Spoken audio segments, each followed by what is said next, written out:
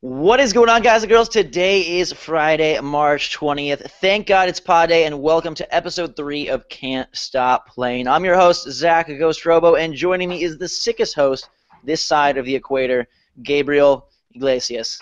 there you go. You triggered it. Nah, yeah, I've been sick all week. I haven't been able to even make a video in a week. I've been Playing basketball, though, apparently. Hey, I've been I've been trying to play basketball as a remedy for my cold. I've had a cold, haven't been able to breathe. I don't think that's the way What it works. kind of doctor do you have? yeah, because I, I I don't think that that's a, a a good way to get around a cold. Well, no, I figured, hey, you go out there, you get tired, get some heavy breathing going on. Maybe your your your your nasal cavities, even if that's even a real thing, will clear up. My thinking is all messed up, guys. Don't listen to me. Did you have some good drainage? Was it was the flow like really? Nah, it, it, it was fun though. You know, Okay. getting back to basketball had been a couple years, and it, it's a blast. Trying to warm your heart with a little bit of excitement. Get, Yeah, get it back on track. All Yeah. right. Not sick is our host from north of the border, Max Blitzwinger, straight from Canada. What, what's the latest from, from that side? Oh, we still uh, have no electricity. Um, igloos. I have to literally have 42 birds holding up a stick in the air to have an internet connection for this call. Cause It's like the enchanted tiki room from Disney. They're just all yeah. all your yeah, friends. absolutely. That that's a good that's a good comparison. There you go. Uh, nothing uh, nothing new in Canada, which uh, is pretty s- smooth sailing for us. So that's good. Everything There is something new in the world of insects, though. I had to bring this up. I'm a, a, a bug. Wait, wait, wait, hold on. When's the last time somebody said that? There's Hey, something new in the world three of of Can't. Stop Playing. We bring you all the latest and greatest uh, one-liners. But this is this is an article um, about Dr. Justin Schmidt. You guys know about Dr. Justin, Justin Schmidt? Schmidt. Um, no. Justin Timberlake. Justin Bieber. J- I My neighbors were the this. Schmidts when I was little. They, that dude, you ever have this neighbor? Okay, you see movies and there's always the family who is completely like old-fashioned and they have like a shotgun and a tire swing. Those were my neighbors when I was growing up. Like I, Wow. I'm playing I've never lived in a place where guns are allowed. Oh, speaking of, I'm sorry to, to interject here. we were driving back from from the basketball game last night. More crime stories. No, no, no. Oh, one- no. here we go. um, and we were driving back, and I see this house. This house has been there for years. I've lived in the same house now, like for a long time. Um, Mhm. after I came Okay. back here, and I had never seen a sign, but it right at the door it says we don't call 911, and then there's a shotgun there. I'm like, whoa. I mean, that was ki- sort of this guy's philosophy. Like Halloween, people would be like running through his yard, and he'd like walk out there and scream. Uh, and then his his boy, I'm gonna call him his boy because he was just that kind of guy. His boy was a, a pitcher for like baseball pitcher. He had a tire swing. He'd throw baseballs through the tire swing. It was just like a really weird world to grow up in. But but anyways, the entomologist Dr. Justin Schmidt, uh, he's taking like he's embarking upon a quest I feel like everyone needs to know about. Um, we'll talk about Battlefield Hardline, Final Fantasy 15, Uncharted Nintendo, but what's most important is What's that Dr. important? Justin Schmidt, Mhm. he is trying to make a scale, a tiered system. He's categorizing insect stings by their pain in a rating system uh, from level 1 all the way up to level 4. I just want to know if you guys can guess any of the level 4 creatures with the most painful stings. The best part of this list, though, It has to be bugs, right? So we're not Yeah. counting bites. We're specifically talking stings. Stings. Yeah, and, and the thing that the thing that really makes this list like a worthwhile read is that he gives you a little bit of like like flavor text. So for example, he's got stuff like the pain is so immediate and intense it shuts down all illusions of life as normal. Imagine sticking a finger in a 240 volt Does life become socket. strange? Pretty it does. Oh. Or like just the way that he says these things are absolutely insane. Bold and unrelenting. This pain is like someone using a power drill to excavate your ingrown toenail. What? Oh my Like the- god! The way that Is he this guy a describes failed science fiction writer? Yeah, that's what it sounds like. Cause he, I guarantee you, he doesn't know what that feels like. Okay, quick question. Uh, Yeah. Two things I need to clarify Yeah. Now, before we make our guesses. Number Sure. one is, did he experiment this on himself? He says that he has been stung over a thousand times by 150 Oh, different God. species, most of them accidentally from traveling in rainforests and, and other places, but occasionally he does purposely get a sting in order to see what it's like. Okay. Okay. um, and then second question: Is it Yeah. just the sting itself, or the? Because for example, a bee sting. If you've ever been. He's talking about the bee- sting and the post. Yeah. Okay, so the post is included in this. The 'cause post pain is it included. hurts a lot because the bee sting itself is not horrible, but then the after pain is. oh, terrible. okay. All right. So then, you know, Hmm. um, Spiders don't count because they don't sting you; they bite you. So, for example, like a I'm fire gonna guess ant, a scorpion. a fire ant is level one, a honey bee is level two. When we move into the level four range, we've got the number one worst sting in the world is the bullet ant. A bullet ant. He claims that this bullet ant that's found in the South American rainforest is an inch long, and its venom-filled sting maintains its agonizing effect for 12 to 24 hours. And uh, he says it's like walking over flaming charcoal with a three-inch nail embedded in your heel. He doesn't know that. That's my all right. That's my issue with this. He doesn't know what that feels like, so he can't say that's what it's And- like. and- well, I know, but the other thing is like, how many people will be able to like, oh yeah, okay, now it makes sense how bad that hurts. It's like you can't really just like be like. all right, there's all a right, lot So, so throw some more level fours at us. So, All right, so you got- on there. There's got to be scorpions. No, there's there's a, I think it's just insect. I don't know if a scorpion counts. Is a scorpion not classified as an insect? I don't think Scorpion it is is. like a, a demon. Oh, okay. Well, it's not a demon, but it's There's- probably- there's, a demon classification. People are gonna be correcting us in the comments. Oh, of course, the scorpion is an insect. I don't know why. I feel like scorpions I, might. I don't know. It might be. Who knows? He only has two at level four: the bullet ant, and then the tarantula hawk wasp, which is a wasp that goes to sting and kill tarantulas. Tarantula hawk wasp. That That's sounds just like a three GIF animals I hate. Yeah. Gabe, we're gonna integrate some pictures in here. Like if you're listening on iTunes, you can just imagine this stuff. But if you're watching the video version, You can Um, just imagine I'm that stuff. show So, a yeah, just think think of a combination of a tarantula, a hawk. and this thing is together. gigantic. Like it's. Okay, I have to see this. I'm gonna Google this. I'm gonna I'm gonna drop it into the, the Skype chat so you yeah, guys can. drop it. And, and for those of you watching the video, I'll drop it in the video. You guys can see it too. Yeah, speaking of video, you can find this podcast on YouTube. Uh, we'll put a link in the show notes. Or if you're watching on YouTube, you can find this podcast on iTunes. Make sure to download subscribe to the show. There will be bonus episodes coming throughout the weeks and months. And even if you are just watching on iTunes or watching on YouTube, listening, it does help to do both of them for us. It's sort of a way to give us a high five, give us a hug. Everything is totally free. So if you want to help us out, support the show, go download it on iTunes, go view it on YouTube. That would mean a lot. Now, though, let's turn our attention towards the world of gaming. Um, this week was a So slow We're week. off the insect. We're off the I mean, insects. You want to I can't, was- well, can't stop biting, thing- can't stop stinging.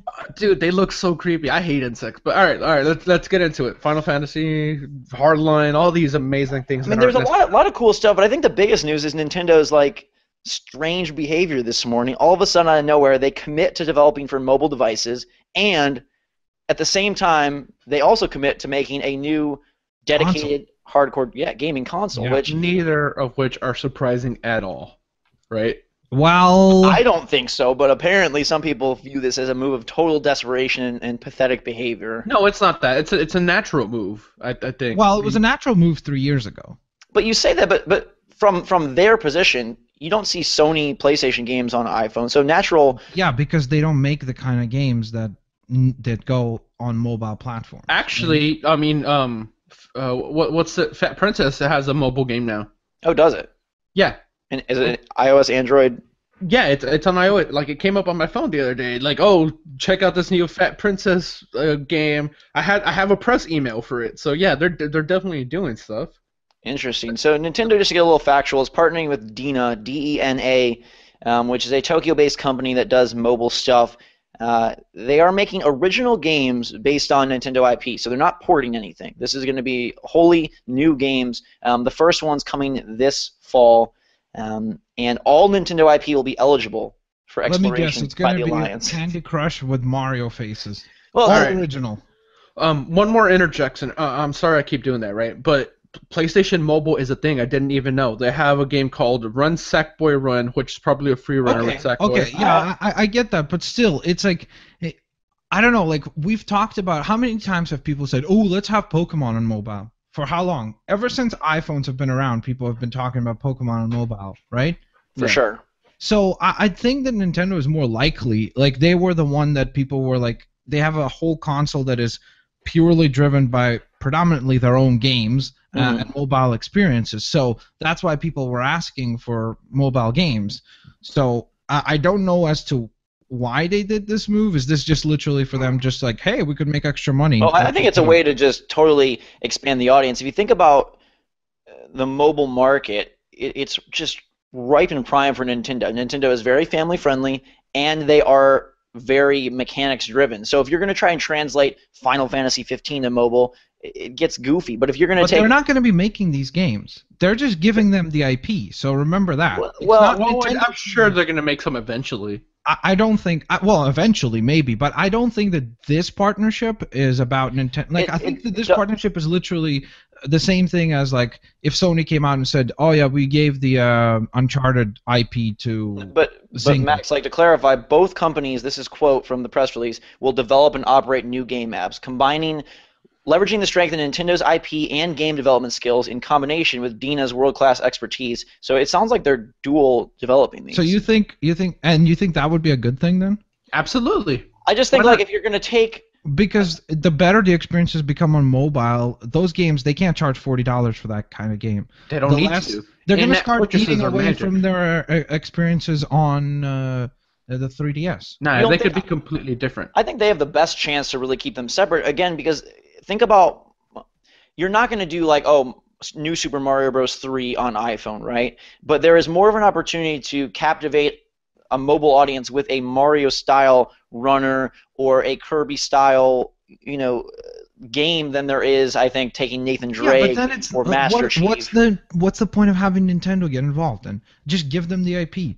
There's nothing original about making. assurance? But what do you mean? How do you quality assure a runner? It's the, the Well, no, I mechanics guess don't know what more they're gonna do. I yeah, mean, they could do more than runner. I just think that like again, this is one of those things that a lot of people who are on the Nintendo bandwagon and kind of give them a lot of passes. It's like immediately it's going to be fantastic. It's I like, think it will be fantastic, and I'm not on the Nintendo bandwagon. oh yeah. Not you at think all. I am? Uh, I think the what's, big- your, what's my favorite games? Three of them are Zeldas. I think the big I love Zelda. the big like crux of this is going to be do they make wholly original games or Yeah, do they just that's paste on saying. Mario? They pointed to Puzzle and Dragons Mushroom Kingdom version, whatever that's called, which all that is is reskinning a exactly. pre-existing game. They also pointed to Pokemon Shuffle, which is basically a Pokemonized, you know, match three. So do they just say, let's let's think of popular, you know, iPhone games. Oh, take Uh, Jetpack Candy Joyride. Crush. yeah, Oh, and all of a sudden you've got Mario instead of Mr. Jetpack in Ta Candy take Crush. Game of War and make it like Hyrule Warriors. Yeah, but you see, at that point, then I don't understand why. If, if that's what they do, then great. Like, but then it's pu- purely just a financial move. It's not Yeah, because it- oh, Nintendo sees the mobile market as a big potential. Like they see it as a big potential financially, and that's, That's it. how I look at it. Yeah, completely financial. I'm saying they are gonna make bank on this. Po- Oh, possibly of course, because more- again, people will see, oh, there's a Mario runner and it's official, blah blah blah. Of course, you're gonna go ahead and play that. So it's like, uh, but at the same time, I don't see Nintendo right now, at least, especially because they just released a new 3DS. The, Sure. the 3DS is selling well for them. I don't see Nintendo being like, hey, let's make a, a game that is of the same quality uh, and experience level Oh, as for sure not. 3DS over on mobile. Even though they can do it, and honestly, who knows if they did make something along those lines? Like, let's say. Uh, they do some sort of a remaster of a Pokemon game, like maybe or something, whatever it is, and they put it up there for let's say ten bucks. They might be able to quantity sell way more. Now, of course, then you're discounting the sales of units because they try to sell 3DSs thanks to Pokemon. So And it may be something where they say, hey, we're going to keep our cartridge based games and franchises separate, but like eShop style stuff, they've really gone into some interesting you know things with Nintendo themselves and indie devs on the Wii U eShop, the 3DS eShop. They could say, hey, the eShop games are going to now be on mobile and 3DS, which wouldn't really cannibalize eh, the main sales of like, oh, Zelda Link Between Worlds or you know Xenoblade Chronicles. Also of note though is that they're going to be working together with DeNA to develop an online membership service that is going to be accessible from smartphones, PCs, and Nintendo systems, including the Wii U, 3DS, and whatever that's their future their console is. dipping their toes into the PlayStation Yeah. Network and Xbox Live because they don't have a paid service for it. How would you guys feel about like just older games? Because I don't know how like knowledgeable you guys are on this, but people are already like jailbreaking their iPhone Yeah, yeah. and- Sure. And, and playing There's Super Mario 3 yeah. on their phone anyways through emulation. So why not sell that for a couple I don't think there's any chance that they bring a full game to the iPhone. I don't think that. I don't think their idea is to replicate those full. it's just games. weird because I remember I I don't know why maybe I, but I could be 100% wrong on this but for some reason I remember three years ago or so that Nintendo was specifically adamant about them saying that they feel like going to the mobile market is like cheap, going to cheapen their games Yeah, or they something said like that. that. That's They what they said. Yeah. So that's why I don't know. Like you see, based on their mind and kind of where they are, the way they look at it is like if we release it there, that's it. It's instantly the property has become cheapened. Now, maybe this step with DeNA is going to be kind of like a building block towards them saying, hey, what if we did do a Link or, or a Zelda Mhm. release and then No. we'll make it for like three bucks or five bucks or something? Um, I, I think it's mostly an it's audience possible, grab. but- Like they, they suffer so much with exposure and, and mind share with the Wii U. If you can tap into the, the younger market, if you can tap in even to the older market who wants fun mobile games, perhaps this is a way to regain some focus, regain some attention. You pull someone in who's like, man, that Link character, he's pretty awesome. Come by the Nintendo NX, which is their next system, and play the full, you know, big boy game. It could be a way just to try to somehow thrust themselves back into the public eye where they've kind of fallen off in terms of home console, you know, it's true. awareness. Yeah, it's tricky because I don't see like you see the mobile market. It is driven by the uh, Candy Crush player, the person who sits at the dentist and plays for 30 seconds before their appointment, or uh, somebody who's like on the way to something or whatever it is. You know, I, so I don't know how many of those people are like, oh yeah, I want to play a Zelda game. You know, so No, but I- still, I'm not sure. I think uh, that the experiences that people want on mobile are those like of again, most people. There will be hardcore Sure. gamers who play mobile will also want the more unique experiences, but most of them will be like the jetpack joyrides, the Flappy Bird, the Angry Bird. It's a lot more of the drop Okay. in for 30 minutes, drop out, you're done. All right, but Jetpack Joyride, why not just put Mario with, with a jetpack and that instantly sells more? You know what I mean? Yeah, I mean that's what it's gonna be. That's Yeah, okay, gonna- yeah. My, my personal opinion is that they're looking to replicate the success of the Wii, and how they captured that was by taking non-traditional gamers and saying, "Hey, this is really fun. Come buy our Wii, and now you're a console gamer." If they can do that in in a similar fashion with mobile, maybe you have a newfound success. They're talking about revealing much more on their new system, the Nintendo NX, in It's gonna be called NX, right? It can't be called NX. What's I a mean, code Oh, name? NX. I was trying to think what NX like is X the tenth, but then they actually this will be their eleventh home con or like well, I mean, the console. thing about those things, like they usually have no bearing on what the console's oh, Totally, actually for sure. called. Because remember the Dolphin, and the, I mean, I just I wouldn't be surprised if it was that based on the Wii U or like the 2DS, 3DS, new 3DS. You never know with them how how goofy they're gonna get. But yeah, most likely it's a code name. But they they do seem to be kind of going two opposite directions a little bit. Like, hey, we're we're dipping into mobile, but like let's reassure you, we have a game dedicated console. There was a slight worry that they, they registered some health and fitness trademarks in the past. Would this mm-hmm. be some weird? No, instead they're saying their next console, which by the way they haven't revealed if it is portable or home. We're just assuming. Well, they just released a new 3DS, so it Sure. can't be another 3DS already. Is it going to be a dedicated game platform? And this is where people will start to think about. Well, they're talking about an integrated online service. Are they going to do sort of that plug and play console where you can play the games at home and then you can also take them on the road with you? That has been sort of the the thought of what Nintendo would do next, as opposed to just like a powerhouse box.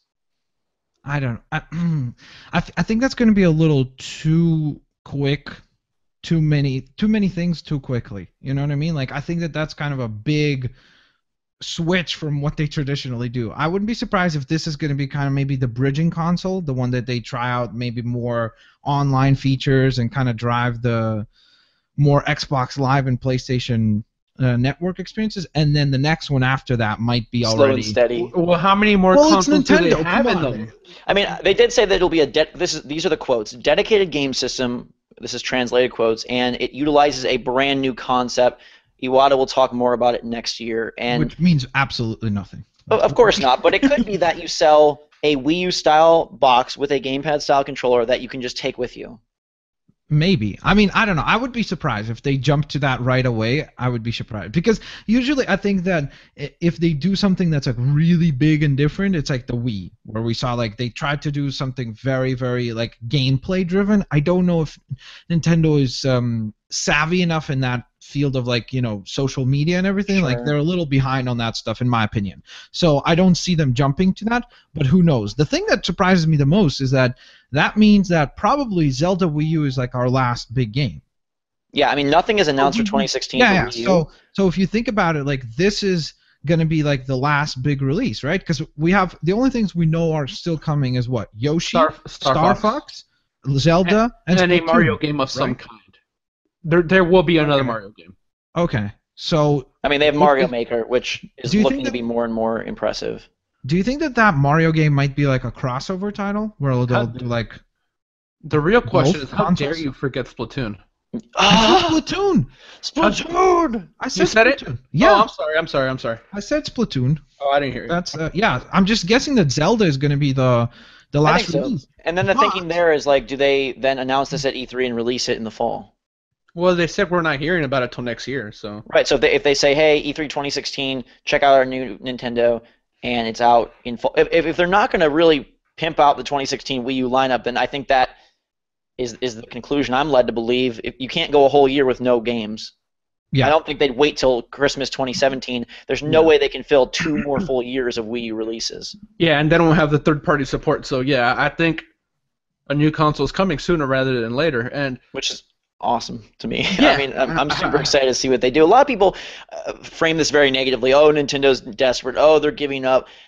You have to adjust as things happen. The Wii U is profitable for them. The games they make are their own and are very profitable. The 3DS is incredibly successful and profitable. So I think from their mindset, the way that they're running this race is different than Microsoft and Sony. So to them, uh, as you can see, it's in the race. Like well, and their timeline and trajectory are totally, totally not matched up with the other two. They don't seem to care. They're on their own like wavelength, their own sort of set of rules, and so to them, yeah, the Wii U hasn't been as successful as they hoped, and so it's time to start moving to the next phase. But I don't think that's an admission of failure. It's just anytime something stops selling, if the PS4 stops selling, PS5 talks would drum up as well.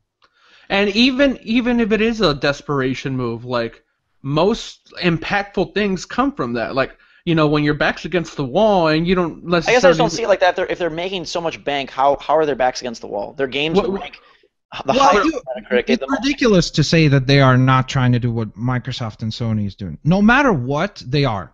They're competing in a marketplace where being first is the number one goal. I think So they've like- given up on, on trying to do what they're doing. I, I get okay. If they've given up on, on what they're doing, why are they doing this new uh, integrated? So are you expecting this to be a powerhouse? online? This is 100% Nintendo trying to adjust to the failure of the Wii U. It did not succeed in what, especially financially, in terms of success with how well like it transitions between the Wii to the Wii U. It's a huge downgrade for them. Like the Wii was a massive sales success, and then this is a complete Yes. the the other thing that the Wii U has created is 100% guaranteed is that now they have to rebuild their relationships with third party like Mhm. because they their those relationships were just completely burned like even on the Wii third parties weren't ecstatic about it because the only attach rate that was happening with the Wii was, was Nintendo games people weren't buying a lot of third party games on the Wii All right. So, then there. they're gonna have to rebuild with this All right. So then there's a huge, huge issue. The only way Nintendo can get some of those relationships back is if they make a console that is so like the Xbox One and PlayStation 4 that publishers and developers can put them on all three simultaneously. So they're gonna need to have a regular controller. But why, why do you think that's even their goal? If you look at the history, N64 Well, super well, that's what successful, Max's saying. That's I don't know what failure, Wii super successful, Wii U failure, if you want to label it that. None of them had great third-party support anywhere. I mean, N64 only had a couple hundred games over the whole life cycle of that console. Yeah, and to be fair, okay, let's put it this way: It- can can Nintendo continue to survive without uh, ever adapting or readapting to the strategies of Microsoft and Sony? Yeah, they can continue to survive. But you yourself have said it that more and more of kids don't know who Mario is, and less and less kids play Nintendo games. So what does that mean? That means 10 years from now, when they are buying consoles, they're not going to be even looking at Nintendo as the option. It, they've become this generation and to a certain extent last generation, they became complementary boxes For already. sure. So either they remain complementary and they will continue to decline in market share, or what they do is they adapt and try to get a, a box that can compete with the other two and hold its own in terms of being able to offer third party support and not just rely on being a Nintendo box. All right, Right. so a uh, question for both of you: Can either of you see Nintendo making a box that isn't like gimmick isn't the right word, but I'm going to use the word gimmick just because I don't have another one for It's it. It's the perfect That, word. does, Yeah, that doesn't have a gimmick to it, like you know the waggle, like this big gamepad. Do you see them making a console that, okay, internally super similar to PS4 and Xbox One, so like Final Fantasy 16 can be on all three, and with a regular controller that you Yeah, don't. let's just let's just make our predictions right now. What what do you think the Nintendo NX is going to be? We'll go one by one and just give me your your quick pitch on what this box is going to be. What we think it will be, or Yeah. what we want it to be. what what you you think it's think. Okay. Your prediction, yeah. Go Max. Um, I think it's going to be Nintendo trying to do like a more traditional box in a sense. Uh, they're going to adapt more of the modern techniques, especially because what they have to remember is that this box is going to be competing with the PS4 and Xbox One, right? We we agree with that. It's not going to be a box that tries to say, "Oh, we're the next generation," right? So they're going to have to compete with the features that are available on the PS4 and Xbox One. I I wouldn't be surprised if they still did some sort of controller gimmick or VR or whatever is like their next thing, but I still think that internally and just in terms of fundamentals, it's going to be the more traditional box we expect, like to have an online built-in service with it that functions, easier system of uh, friend sharing and all that. Uh, so I, I think that that's what this box is going to be an attempt at. All right, I'll go. Um, I, I hope I'm wrong, but I think this is just going to be another very weird thing. I think VR is going to play a part in it. I think. And can you guys still hear me? Yes. Oh, okay, because it got eerily quiet. Um, Just I- I- We just have so the floor. much respect and focus Yeah, for you right I now. think they're going to stay as a supplementary box, and I think maybe their next attachment to the masses is on mobile. So on mobile, they're going to be the king, or you know, whatever. They're going to be huge, and they're going to stay a good secondary box. Like I see no point in owning both a PS4 and an Xbox One and not Wii U. Buy one of those and buy a Wii U or whatever the next Wii is, and you'll be a happy camper. I think. So I think they're gonna just they're gonna accept that that's their position, and that's what it's gonna be. I think. Uh, I hope I'm wrong though. I, I think that Whoa, they whoa, whoa, are. whoa, Sorry, he, he says you hope you're wrong. So you want them to do something different. No, no, no, no. Yeah, no. I want them to do what you said, Okay. basically. Oh, okay. I would like them to go all in on a mega machine, you know, even stronger than PS4 and Xbox One because they next year develop it. But if I had to predict, based on the way they've been talking, based on the the fact that Iwata has been on the hot seat for a while, Miyamoto is approaching the end of his career. They're talking about this integrated system, online service being the, the core of their new thing. The fact that console sales are dwindling in Japan, I think that they try to go all in and make a box that is a home box and a portable box. It gets their console back in the living room of, of Japanese people. It allows them to kind of unify their platform, which has gotten completely spread crazy. They use mobile as their way to target the younger, on the go, cheaper um, type games and gamers. And then this thing that can play games at 1080p, 60 frames per second at home or take on the go for almost a remote play style experience without the need for an internet connection. Now you're kind of getting to a point where maybe this is a box that while it doesn't have the next Grand Theft Auto, doesn't have the next God of War, doesn't have the next Uncharted, it does present such a intriguing proposition that parents, kids, maybe even hardcore gamers want to dive in just because it's doing something that I, I don't think that they get away from innovation and, and gimmickry. Like that is kind of their mo. It always has been. Hmm, Whether it's, really GameCube, I mean, the GameCube. Was, Wii U, do you think the game? Nintendo. I mean, Super Nintendo. uh, Yeah, because back then. 3DS, eh, all the iterations of the 3DS. I mean, the 3D was the Well, I know, Point of but, that but other than that, every iteration sense is just changes in size. no, but I, to me, it's like they go innovation, like then like sort of a reconfiguration slash improvement.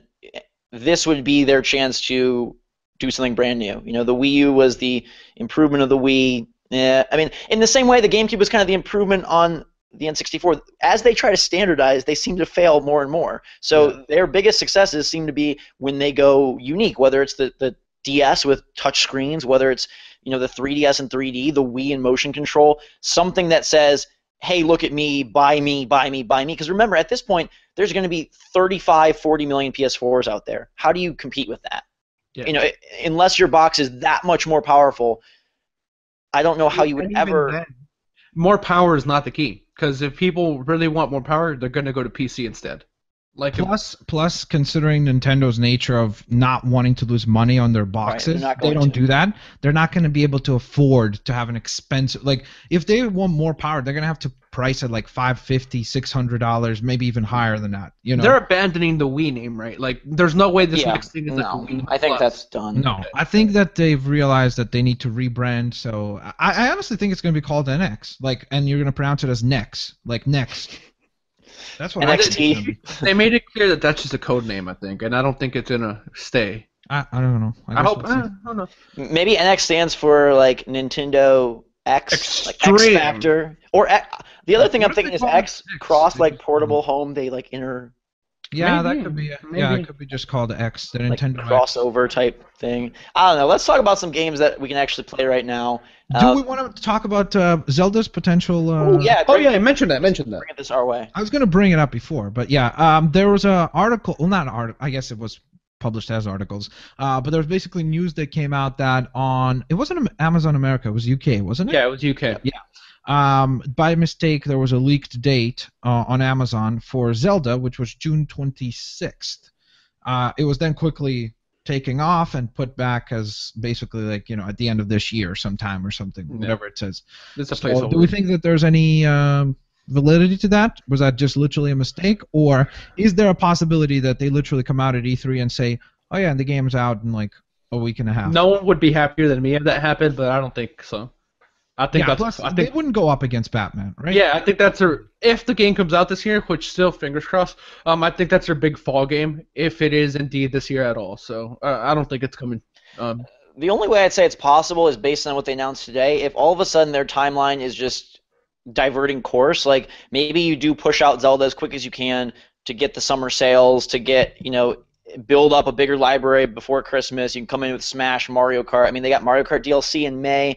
They try to keep these games around. It's not like they release and go away. So I Well, think they have to. They don't have anything else to say. Right. So ninety percent no, but it would be a splash. It, it would be their way to make a splash. If they're not going to talk about this next console, this E3, and they're not going to talk about big Wii U games for 2016, yeah. I mean, what did they talk about? what the heck You're do they talk about? Yeah. and, and, and the other point. thing, and Zach said maybe they're shifting because of this, but they had promised that Star Fox is coming before Zelda, so then we'd get Star Fox next month or something. you get, you get both June 25th and June Uh, 26th. I, I mean, I don't see it happening. Promises can be broken. I don't. I just don't see this one releasing that. A I don't know what's Nintendo promise will never be broken, Zach. Oh, really? Don't you say that. See, Okay. like this is one of those things, Max, where eventually, if you stick with them long enough, you're going to reach the promised land. Like if it, it may not be this console, it may not be the next console, but one day. At some point, you'll be proud. You'll be Just- yay! Just do not forsake them, and they will accept you into their holy land. Exactly. Last little Let's move on. bit. Do you think they ever? God, brilliant. Go, go. Um, Go. do you think they ever just go back to. Nintendo, like Huh? the Nintendo? I would love They that. They just call it the the Nintendo. Yeah. I would love that. Um, I don't know if you can see. I don't know if that name has any more resonance as it used to. Like back in the day, true. it used to be like you know, grandmas and older people could say, "Oh, my grandkids, they play that Nintendo." And they're You know? playing a Right. Sega Master System. yeah, yeah, but everything was the Nintendo, right? So like they had that thing of like like that thing of like Q-tips, right? Like that's a brand. It's Sure. not a name of Sure. cotton swab. So it's Uh. it, it, it might not be a bad idea, honestly, considering how they've been naming things lately. I think that the Nintendo is like the best. I mean, especially if they go with a joint system, then they don't even need to define anymore. It's just Nintendo. Like, Yeah. uh, what if they you're it right, I agree with that. And they get mad whenever you call it the Nintendo. they need it to be said the. Like Yeah. Nintendo's weird. Yeah. Well, All right. that I will agree with. Bless them. what do we want to talk about first here in games we have played? Battlefield, Mario Party 10, Final Fantasy. Well, I mean, get Mario Party out of the way so that I can get all Nintendo footage up front, like for the video show. We'll do Mario Party 10 last. What footage? You're gonna put a Let, us talk about Battlefield because this is one. Ah, Ay, caramba. Here we go. What? Here we go. Okay, fine. Skip. You want to hear about Final Fantasy 15? no, I really wanted I've the not Mario played Party any stuff. of them because I didn't get anything. I, I was gonna buy Battlefield right after this, but then. I well, think let's talk about Battlefield. I All right, guess. all right, so fine. you could I- explain why I- I'm I- saying Battlefield. that I'm changing my mind.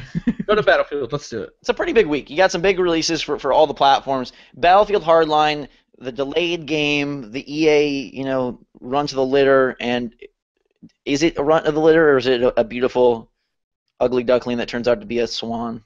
Can it be neither? Can it just be a game? I think that's what it is, right? We, we played, we, we played multiplayer together. You played a lot of the single player, um, Uh, and I think yeah, I think your groan is pretty. That signifies. I mean, it's it's what- just a what- shooter. Like it's a stealth game, man. Like it's the single player is a stealth game. it and can it's be played that way, but you could play you Yeah. could play just gunning everyone down. Yeah, but they encourage stealth, and it's episodic. Like it, it's like TV episodes, really. Like it's weird. I, I sort of dig it, but you know, story wise, is it is it grabbing you at all? Uh, it, it- it's super um, uh, generic. That, that that's the only word I can think of. Like it, it's not anything revolutionary. Like when you think of a cop and robber story, this is what it is, man. Like so they they played it pretty safe. They didn't do anything like you know off the wall or try to get real gritty or anything like that. It's just It, it's just interesting to me because it's like I remember like a few weeks back, Gabe, you were hyped for this game. You went to. Hype City for this game. I did. I, I really No, and I'm not even saying it's- more so heavily regarded in my mind, at least, because as Yeah, I mean- excited for it. it, it's a good game. Like it's not a bad game, but you know the fact that I get did get so excited for it, and it, it didn't end up being like earth shattering and like different. Like it, it, at its core, it's still a Battlefield game.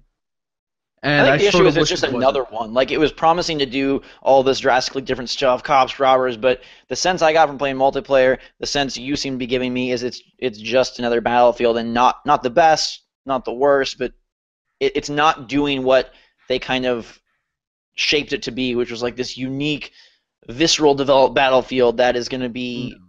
you know, in its own sort of thing I- space. One thing I will say that I like this a lot better than Battlefield 4. So It I think actually it's definitely a step.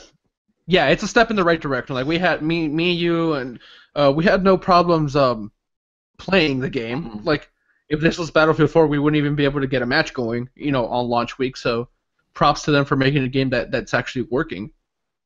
And, we ran through a bunch of the- matches back and forth real quick, and that was a, Yeah. a pretty smooth experience. I mean, I, I've only played the main modes, um, but you dove into some of the other ones and said that that's where the Oh, some are real re- stuff is at. Some are really cool. Like they have this whole like esports centered stuff where uh, there's one where you only have one life, okay. and if if you're the if you're the criminals, you have hostages. If you have if you're the cops, you're trying to rescue the hostages, and you have one one life. It, it- it's basically a play on, on on a counter spy a counter spy wrong game uh, counter strike um le- uh, mode. Also, Hot Wires. The one man we should have played Hot Wire that day. It's basically Conquest, but with a moving point. You know how in Conquest you go, you capture the point, and that's how you get points. Mhm. Here, the, the point is actually a car. So you have to keep the car going at a certain speed. So think back to the classic Speed movie. You have to keep a certain uh, miles per hour for you to be getting points, and if you slow down, you know your, your bar goes down, and you're not getting points anymore. So it's really a mobile conquest, and I thought that mode was great. Uh, so yeah, it's that one and the hostage one that I think are the two standout ones. and yeah, th- th- those are fun. Uh, I kind of wish I had played those with people. I was playing those on my own, but um, if we were to jump back on those, I think I think we could have fun. I had a good time with the multiplayer. I just and Battlefield has always rubbed me this way of like it's not as intense or as hardcore. Like when I play Call of Duty, it feels so defined. So people are all kind of going for the same thing. It's it's very well crafted. Battlefield just feels like it overflows those boundaries a little bit. I mean, you and me were doing one of these. Uh, what's the mode called? Heist. Heist. I'm thinking of GTA heist. Like it can't be heist, but all sorts of heists Yeah, it's Um, heist. and we're like in a boat, like off doing our own. I mean, th- there's just not. I feel like the focus isn't there. Like you have this this shop that you can access mid match, or you don't have to. You can like buy stuff, but it's never very clear like why or when or. Do I don't know. get better stuff. You keep yeah, it. I guess I just feel like it's not the craftsmanship of the game just doesn't. What what about this game screams like you got to play it? Is there anything? If you like Battlefield, this is more. Yeah, I, I mean that's the other thing. Like it seems to me like because you said like oh it's another battlefield. Like it. Some people love that. yeah, that's what I mean. It's like some people will enjoy that, and more importantly, like th- that's a pretty big name in the gaming Mhm. industry, right? Like it's a it's not like oh it's just another battlefield. Like you know it, it's it, it's just weird. I guess maybe is it a case of like you don't like Battlefield, so that's why you look at it that way, or is it a case of it's just so generic and there's nothing unique about it, and that's why you react to it? Because I almost feel like it's one of those things. There's always like been people who love Call of Duty, and then there's been people who love Battlefield, and they're very different game like gaming experiences. But if you love Battlefield, maybe this is a, actually like a really good release. Yeah, I mean, maybe maybe it is the like the super hardcore Battlefield people. They might love this.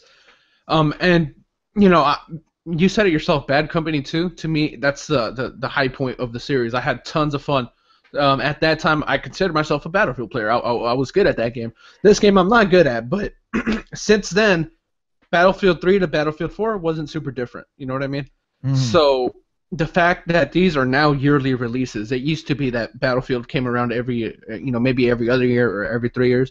Now they're coming around so often, and if we have Hardline this year, and yeah, it's cool, it's a good Battlefield experience, but Battlefield 5 is coming next year, When did Battlefield Bad Company 2 release? Do you know? Like 2000s.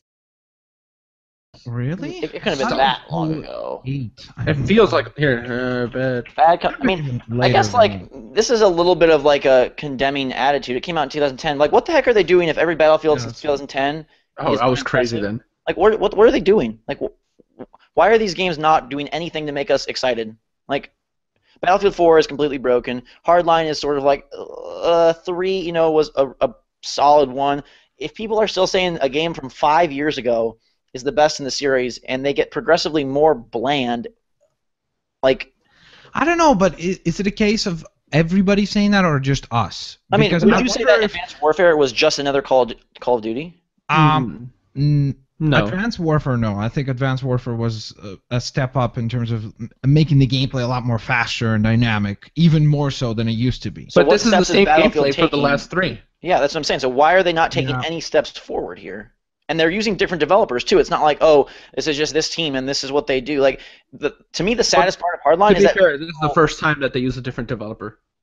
I know, but Vi- what did Visceral bring to this? Like, what of their own style did they bring to this?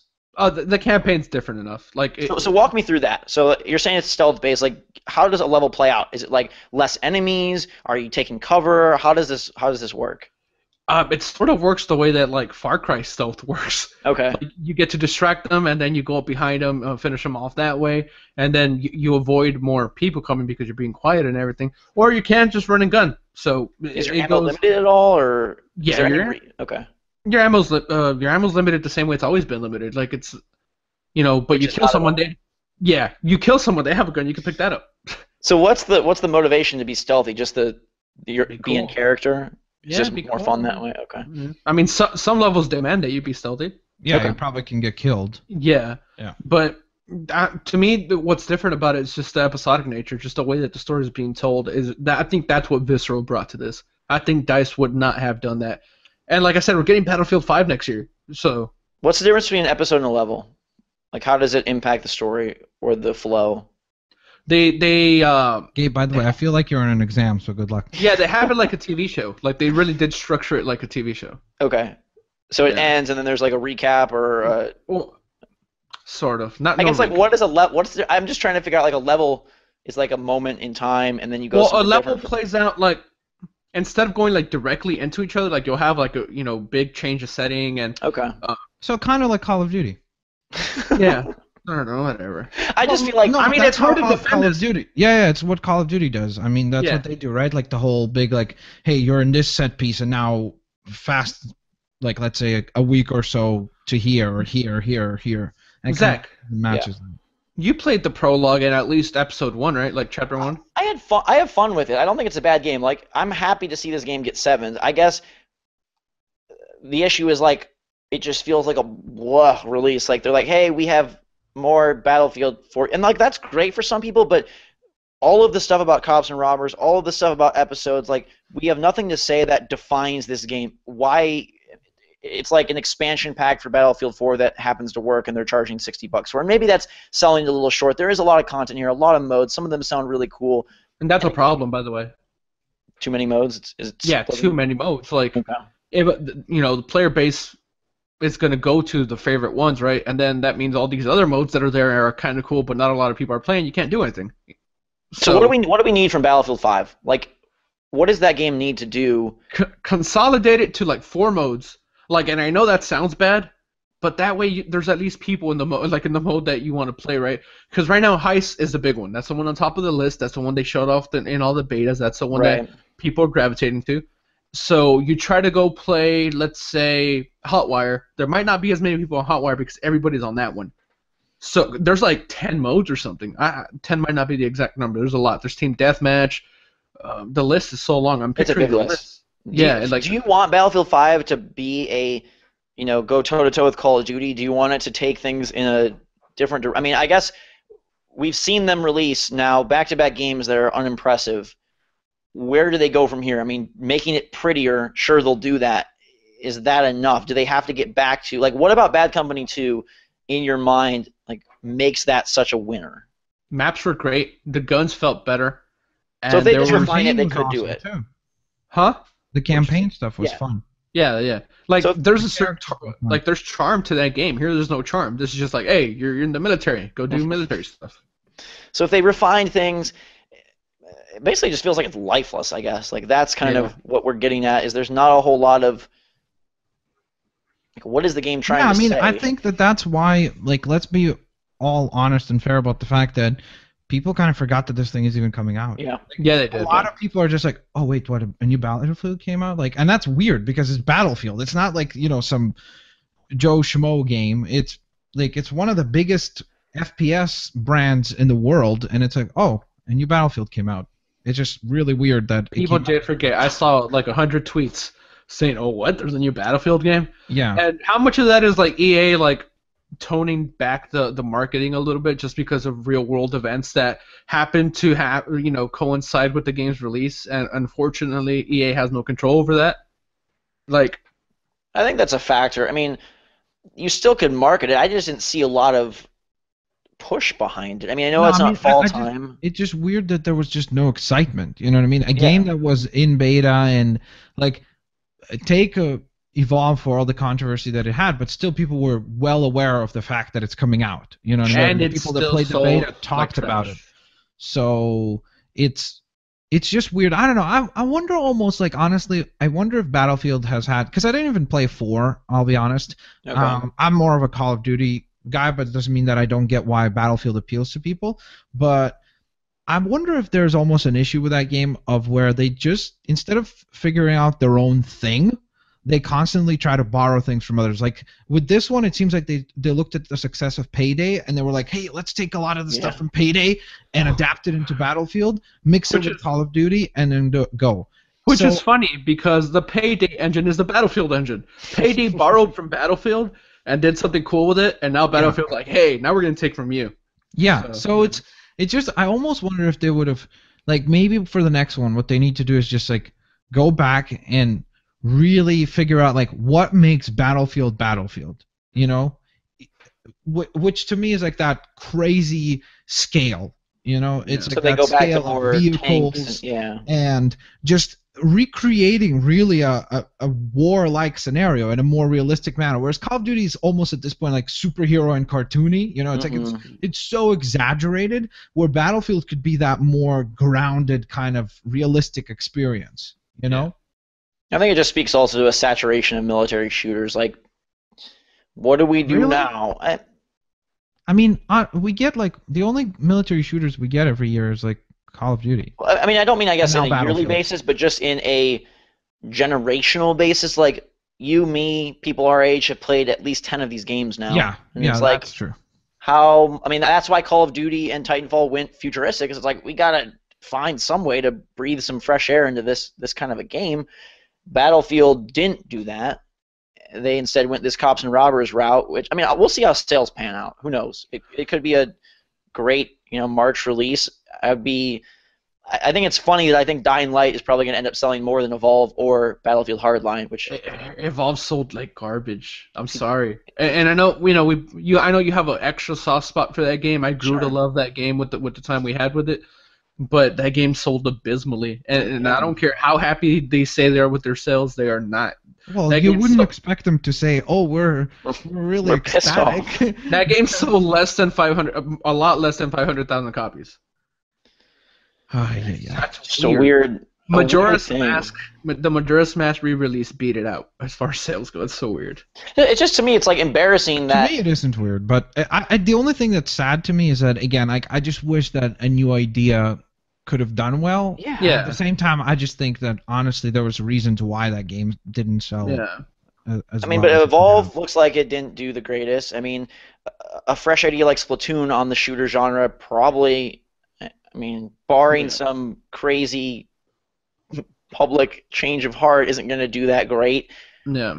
And then you get Battlefield Hardline, which maybe I honestly think the most if boring of all. Is, uh, is if Splatoon is fun, and if Nintendo was open to modern ways of communicating gameplay, mhm. Yeah. I really think that that game could take off. Yeah. By that you mean let us put it on YouTube. Well, yeah, but I mean, like, I I just think that if they let, because if the game is as charming as it seems, which it seems like it's like over 9,000 in terms of charm and just being fun and unique and different and still being fast, but at the same time, not ridiculously Twitch gameplay, you know, like, it, it, it, it looks really, really neat. And if they let people share those experiences, I, I don't see why that game couldn't take off, especially in a day and age like, look, when you can popularize something like Five Nights at Freddy's or and make millions of dollars with that, or Yeah. I Am Bread. Nowadays, like any game can be a massive success. Look at Goat Simulator. Yeah, It's I mean, a like that's- freaking Goat Simulator. Like, come on. I Oh, just think it's sad that new ideas like zombie games sell super well. Perhaps Battlefield Hardline sells super well. I don't think it does, but okay. I'm just saying in general, like w- Uh, good point. Good point. Like- Good point. I mean, look, I- I get what you mean that we would love in an ideal world everything original to be like that's the best selling, but there's a reason why you are touting uh, Nintendo, right? It's because it's those characters that you love, right? Oh, for totally, I, I get that. I just think a lot of times people, gamers, complain about lack of innovation, lack of releases, and, and gamers, us, me, are the ones to blame because what do we get behind the, the same stuff? What do we? Well, to be fair, if Evolve gave everybody a, a good enough reason to get behind it, people would have got behind it, right? Like, let's be I mean, I fair. think that Evolve is. game, that game wasn't a flawless game. you Oh know? no, It's- for sure. I it's think it not was, like uh, talking about like, oh man, you know, The Last of Us, which also wasn't a flawless game because there's no such thing. Sure, But I'm saying, or I already told you it exists. whatever it is, whatever game you name, like Claw, for example. Yeah. A Link to the say Past that is that flawless. game sells terrible. It's like it most likely there's yes, there's an element of marketing, but I think nowadays it's almost like there's so many games and so many different mediums of marketing that you can still be successful even without like you know national TV commercials and stuff. Look at Dragon Ball, dude. Like that thing shipped 1.5 million copies already. I mean, that's Like, that's relying Jesus totally on name, though. Yeah, but still, how much cachet does the Dragon Ball name hold? Apparently, anime is popular. I mean, Like now, Mhm. I, I'm I'm surprised there was that much. that's a lot. Like, yeah, that's a lot. I just Wow. think keep in mind, the two this coolest games of the month, probably to me, The Order and Evolve. uh, the order sold Like- like garbage too. That was like way down there on the list. How of the much top of that is a product of like horrible mojo around launch week, just killing the game? Same with Evolve, yeah. Yeah, Yeah, they're both. But Yeah. let's be let's also be honest. I like we said on the sh- on the show, uh, both of those games to many gamers are not worth the sixty dollars. hmm yeah. So it's it's like it's a fair game. You know what I mean? It's like On the other hand, Battlefield is chock full of content, but we're saying it's not that inspired. So sure, you get your your your money's worth, but, But it's Are you which is still good. worth? I just wanted more from it. Like I, I know we moved off the Battlefield theme, but don't get me wrong. That that's still a good game. I agree Yeah. with seven. A seven Yeah. is good. That that game is, is good. If you're a Battlefield player, maybe you'll love it. So I think Final Fantasy 15 is poised to get way more than sevens. Um, episode Duscae, which is their big demo, um, released alongside uh, Final Fantasy Type Zero or Final Fantasy. I don't whatever Yeah, they pronounce that thing. Yeah. Um, which I didn't touch that, but I so the demo downloaded- came out, and if you bought the demo, you get the uh, Type No, no, Zero no, no. game, right? You buy Type other- Zero and you get the demo. But let's be honest. Yeah. So Final Fantasy 15 demo comes out at sixty dollars, and then you get a Type Zero as a. Right, and, and it's evident on eBay. People are selling that code for forty bucks. That shows you how much they value uh, the game that comes with. Wow. Um, no, but it is a big look at this next gen Final Fantasy. They've said the game is about sixty percent complete. Do any of us think it hits 2015? No. No. Um, I don't. Uh, what what else do they have? Who? Square? Yeah, Uh, Tomb Raider. Tomb Raider. I think and their focus then- was on Tomb Raider for this year, probably. Yeah. Well, re- re- Yeah, it either it either hits. I I wouldn't be surprised if it hits like late this year, or does the Dying Light January release. I- either I, I, way, I think, I'm thinking March. March next year is what it feels like to me. March is becoming the time that's like hectic. Yeah. So I don't know. I don't know if they would do that. And especially looking at Dying Light and how well that did, and I, I I think now companies are realizing that there's other time frames than the two they've adapted to. Yeah. So True. Well, whether you play it in January, March, December, November, uh, it is a very revitalized take on Final Fantasy. So they've abandoned a lot of what was like the, the nails in the coffin for 13. So 13, the three games they released, and, and they made some variations along the way, but in general, people complained that there was very little in the way of exploration. The combat felt very substandard compared to Final Fantasy's legacy this game kind of flips all of that on its heels. Gigantic sprawling world, like we're talking massive open world. It, it gives you one chunk of the game. Now, how many of these chunks are there in the full game? I don't know, but like you can walk as far as your eye can see. There's gigantic monsters, you know, in this lake. There's trees, dynamic events. Airships will come in and drop down robots for you to fight. Um, there's creatures in the, the forest that you can sneak by or stumble upon. A jump button, a sneak button, a cover button. Like Oh my God! It has four buttons. like it's a, it's a very radical departure from what you'd expect. I think it's the most similar to I Final know it Fantasy. actually sounds like it makes me want to play Final Fantasy again. Yeah, it's the most I, like I, 12, I I- think, I, I, like 12? in comparison to Gabe just, like, was insulted by that. the way that the see combat works. It's very real-time focused. Like you're moving your character, positioning matters, aiming matters. It almost borrows from like, why are you I'm laughing? no, no, keep talking. Go ahead. I'm Have you not. I, played Final Fantasy 13? Do you know what that game was like? 13, yeah. No, I don't like Paradigm 13 at all. shifts and Yeah, no, no. 13. controlling one like, character. Yeah, no, no, I know. But uh, I'm not even laughing at what you think I'm laughing at. I'm not laughing at you. All right, cool. Um, There's a clown in his room juggling him. He no, failed. you're, you're, I saw your video. It looked, it looked great. It looked fantastic. I really want to play it. it reminds me of a mix of like Final Fantasy, Dark Souls, and a lot of Dragon's Dogma in a weird way. Open fields, big monsters, um, you know, action combat, but not like Devil May Cry action, right? More like it, it's requires timing. So there's blocking, there's parrying. Um, you can definitely just hammer on the square button. I play this on PS4 and not hit anything. Like you have to be careful. You're controlling one character.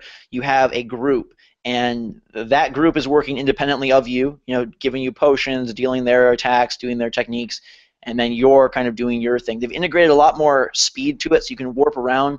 Um, you can warp to enemies. You can warp to highway points.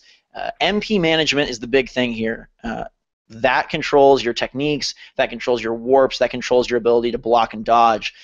That bar goes down really fast, and if you hit zero, you enter this stasis state where all of a sudden you're like, he's got a bad stomach ache or something. Like he's hunched over, He's you can't tired, yeah.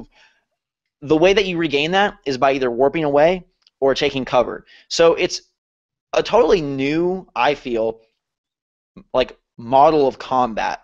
I don't know that anything has done it in this way because you're still.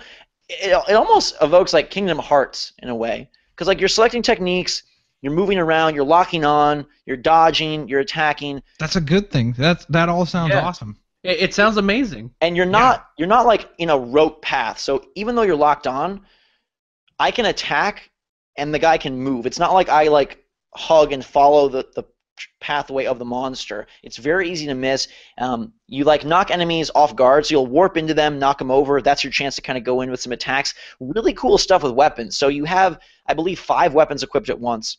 Um, each of them comes with a technique and a weapon, and the way that you organize them determines how they're using attacks. So you'll have like a first strike weapon, you'll have a combo weapon, you'll have a finisher weapon. Um, a lot of complicated systems. The menus look really cool. Just it feels like this is the game Final Fantasy fans have probably been waiting for.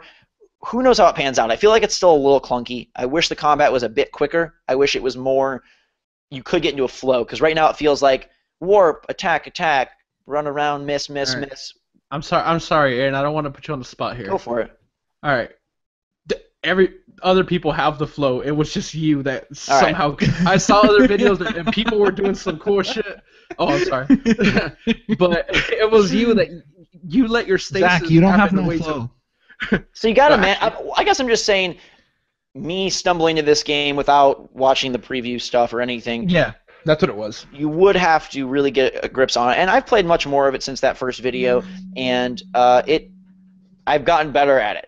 And it becomes a different ball game when you fight bosses. They're gigantic, um, and they've brought in a lot of stuff. Like you come up to this first boss, and it says his right eye, he's blind in his right eye. If you attack on that side, it's a blind spot. So this Oh, that's game is now cool. inc- incorporating like a As lot long of as they keep doing that, like as long as they keep doing that, like for like more intricate like bosses, like you know every boss will feel different. Sure. Yeah. and Like very they can, like, hey, this boss is really top heavy or something, like you know what I mean, and then you'd have Zach, to attack from behind. One thing I wanted to ask because I Mhm. saw um you know first of all props to you because I never watch like long videos on YouTube. Your vi- your video's 30 minutes and I saw the whole thing. And Wow. not just because Thank you're you. my friend, but you know it was a good video. and, I um, mean, yeah, it's Final Fantasy 15, but yeah. Yeah. Yeah. The thing I wanted to ask Part at the one. end, you were like pausing it and, and you set the waypoint to where you wanted to go in the world.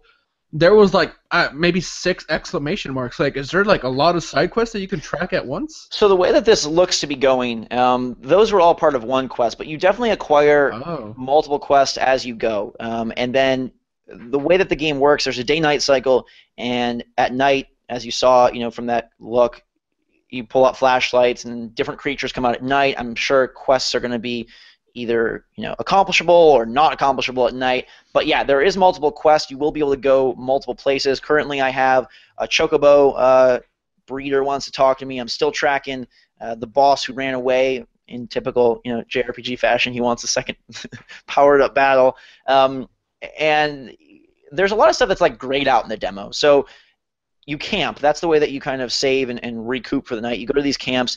It tallies your XP at night. So almost like persona in a weird way, but like you're you're gaining levels at night, and then you can upgrade your techniques. But that whole system is not in this episode Duscae. There's no way for you to affect the leveling, which there it says there will be in the full game, like you know changing techniques, getting new stuff. Dude, this sounds like awesome. There's And even there's, a, there's vehicles. There's there's not vehicles. vehicles. demo. right. There's vehicles. Um, there is a They run need to release button. this before Xenoblade. Yeah, yeah. That's, that's not happening. I mean, the one thing I do sort of go back and forth on is would I like this game better if it was just straight up tactical turn-based combat? I The don't combat know. look fantastic. I, I don't know. No, it, sound, it sounds like the Well, it- combat. it's very cool. I guess I just when I think of that kind of a game, I sort of miss, and I miss in 13. 10 was sort of based on my age the highlight for me, and that game being able to sort of set up your battles and, and utilize the characters in concert with each other. I love the fact that I could sort of think about what I was going to do and combo, you know, this Blizzard spell with this guy's, you know, Just play Darkest well, Dungeon. yeah, I, I guess I just it would have been interesting if this game was full on exploration, full on open world, but with turn based battles. The way it goes now, it's all there's no change of screens. You come upon enemies, you run away from them. Um, you can get in sort of a combat state, but it doesn't change anything. You can run out of the field. There's no yeah, but that sounds no- better because I almost feel like the issue with Final Fantasy, in my opinion, a lot of times has been like where they would upgrade or like do new things, but only in parts of the Mhm. game. Like they'll do exploration, it's new, uh, but everything else is the same.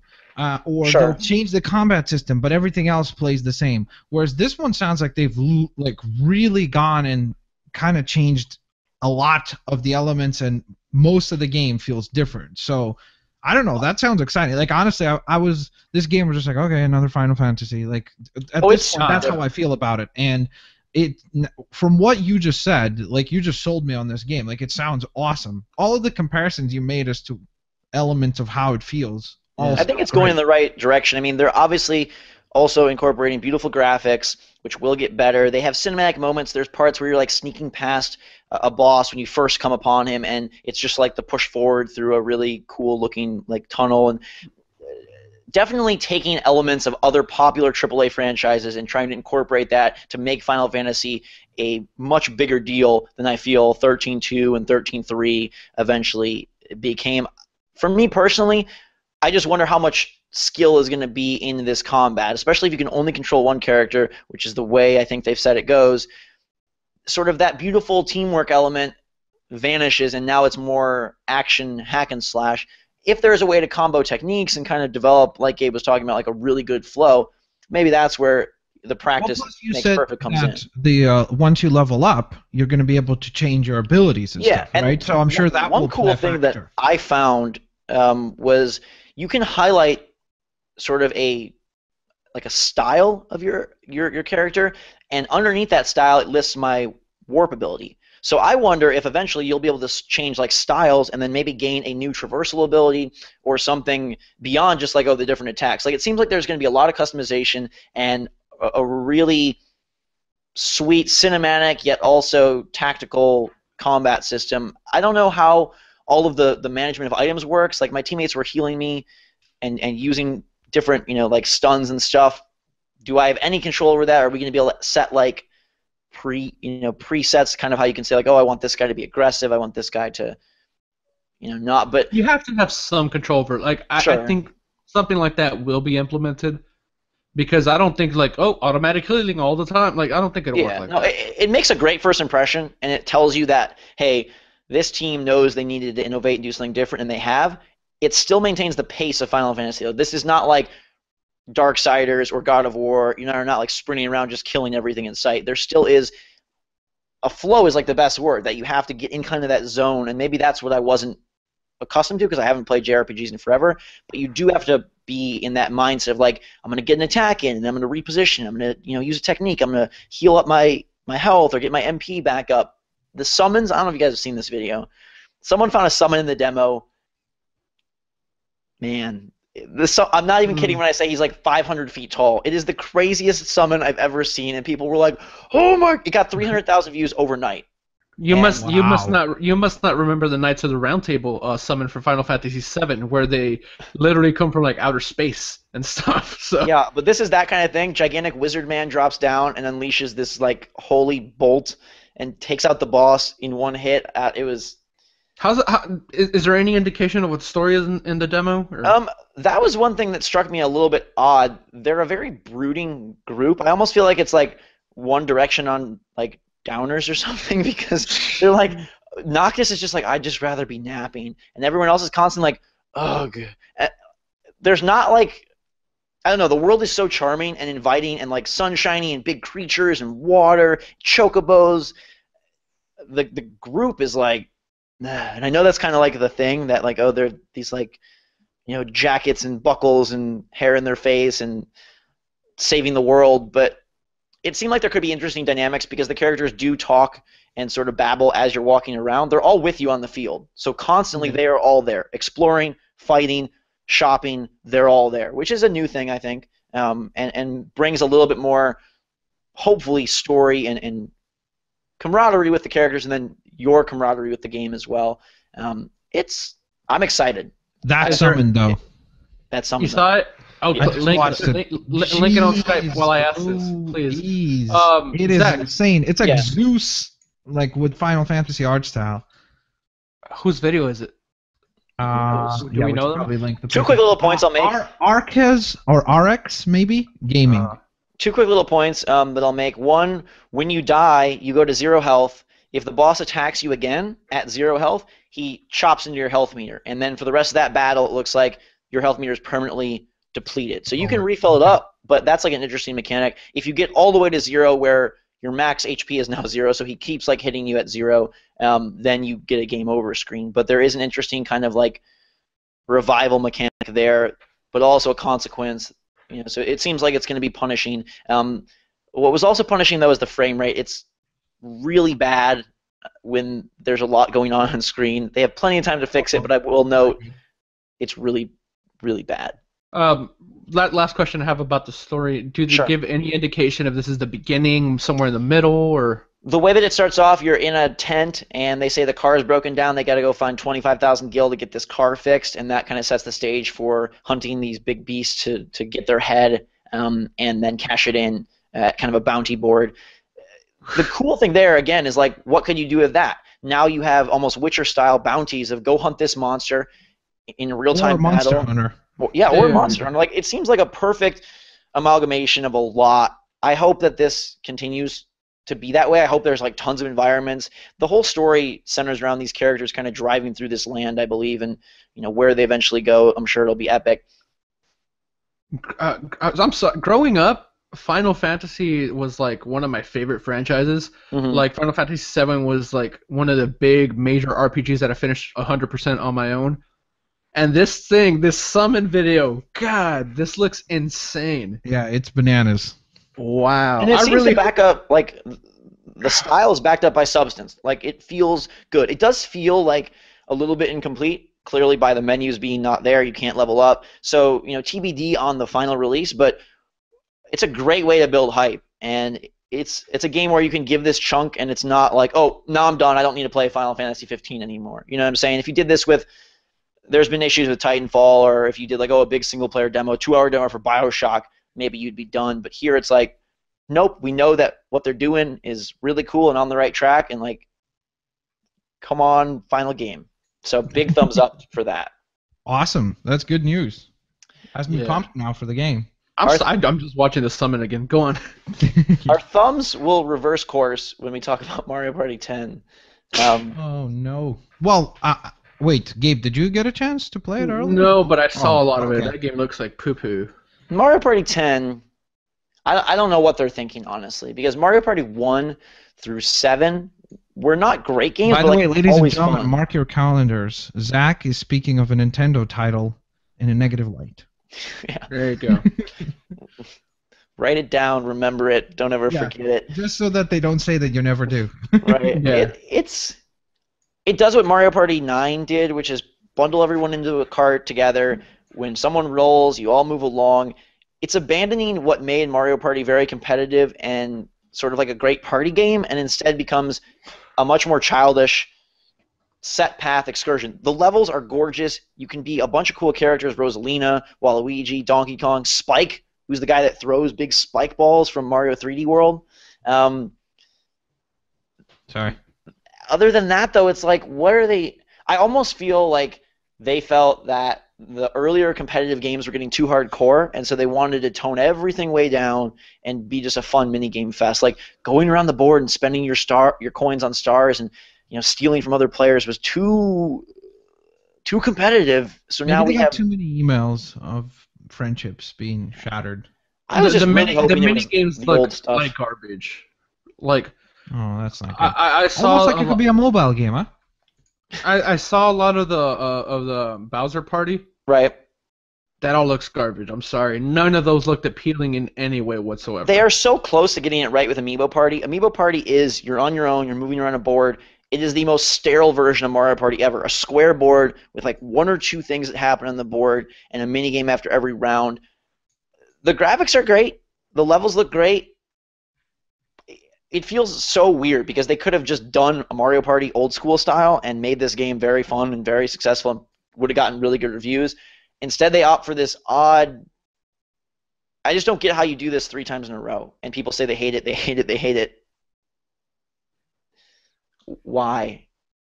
The redeeming factor is that the amiibo interaction gives me hope for what amiibos could be in the future. Like it's obnoxious with its amiibo interaction. Like you have to touch your amiibo to the gamepad and then lift it off to throw your dice. Or if you want to you know, do certain Wait, things. so you you you like that? I just think it's no, no. What I'm saying is, it's cool to see that they're experimenting with amiibo usage in game. Besides just like tap link to Hyrule Warriors and you get an item. Like there's actual. I touch it to the board, I remove it, and it throws the dice. Okay, that is so lame. you like the experimentation, but all of the experimentation sucks. y- yes, but Okay, but I'm good. hopeful that this will lead in due time. I just don't get how you make a game that it's like if you made Madden and we're like, hey, instead of traditional football, we're gonna do this like crazy. It's only a 30-yard field and there's only six guys, and people are like, just Uh-huh. give us freaking football. Like that's what I wanted from Mario Party 10, and instead, no, it's still enjoyable. I um, yeah, I guess. Never mind. Sorry. Go ahead. Let me give you the perfect example of why this game is just sad. All right, so you're going around collecting these star bits. We're all in this little like you know fun bus together, driving around. There are reverse spaces on the map. The winner of the game is the person that collects the most of these star bits, and you get star bits from winning mini games, collecting them on the board. Well, towards the end of the board, because remember now it's a linear path, it's not a branching path because Mhm. that's too too difficult for gamers.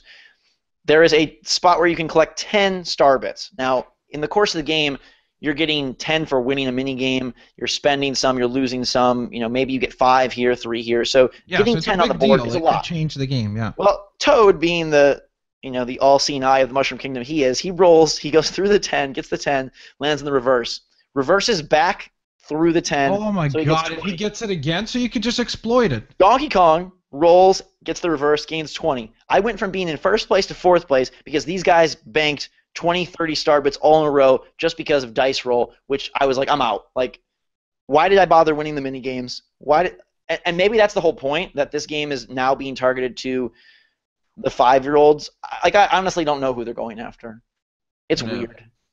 Bowser Did you get Party a chance to cool. play it with anyone else, or no? Yeah, I played it with my girlfriend, and we had mm-hmm. like a good time. It's very concise. They don't take an hour and a half anymore, like 25, 30 minutes. You get some mini games in.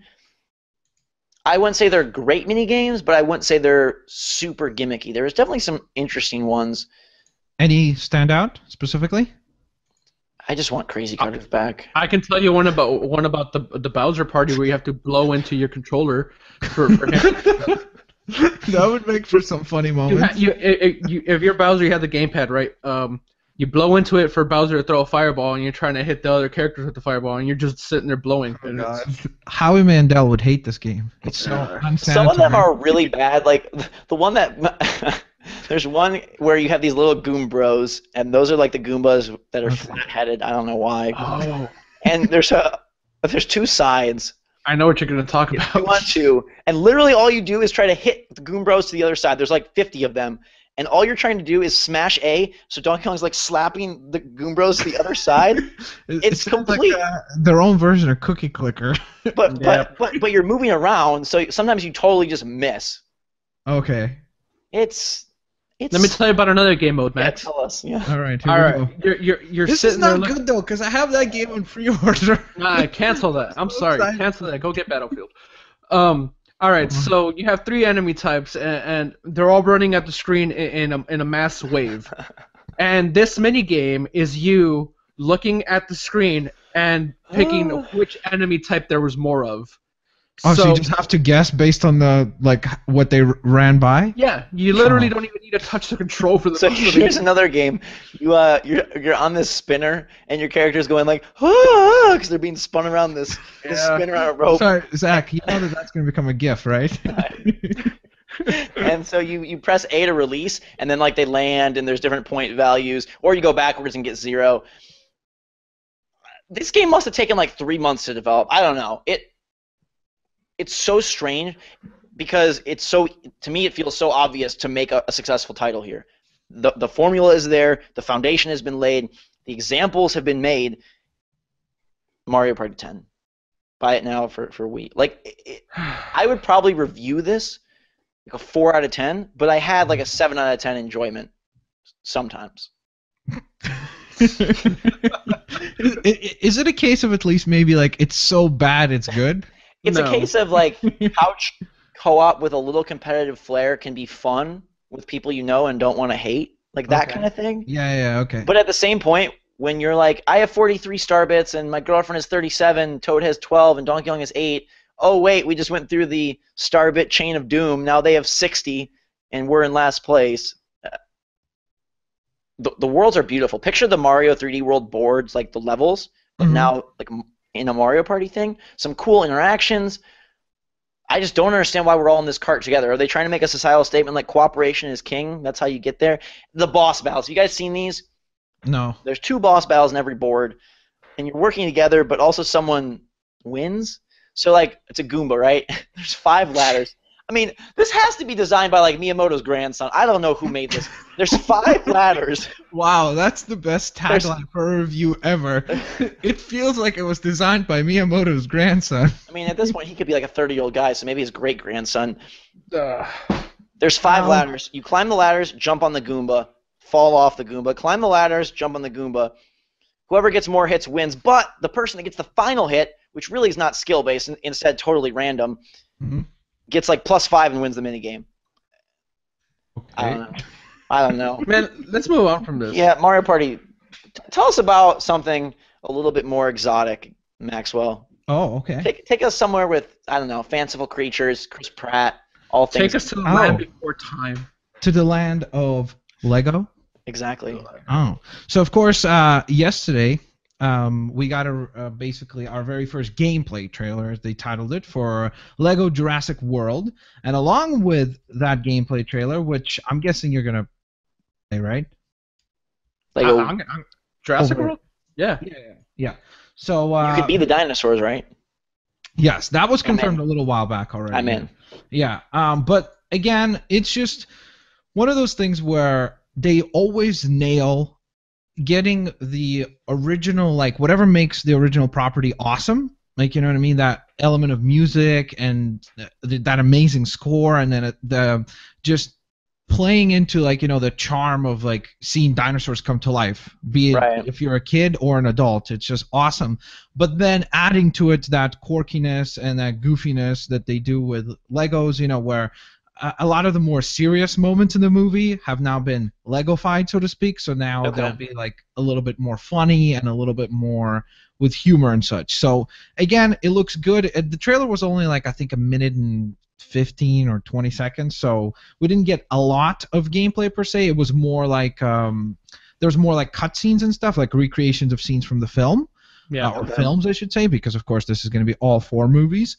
Um, but there were some cool moments of like um, even like where like there's one specific moment where you're like traversing something like where you're jumping over and there's like dinosaurs jumping in the way and trying to uh, bite at you as you're jumping and stuff.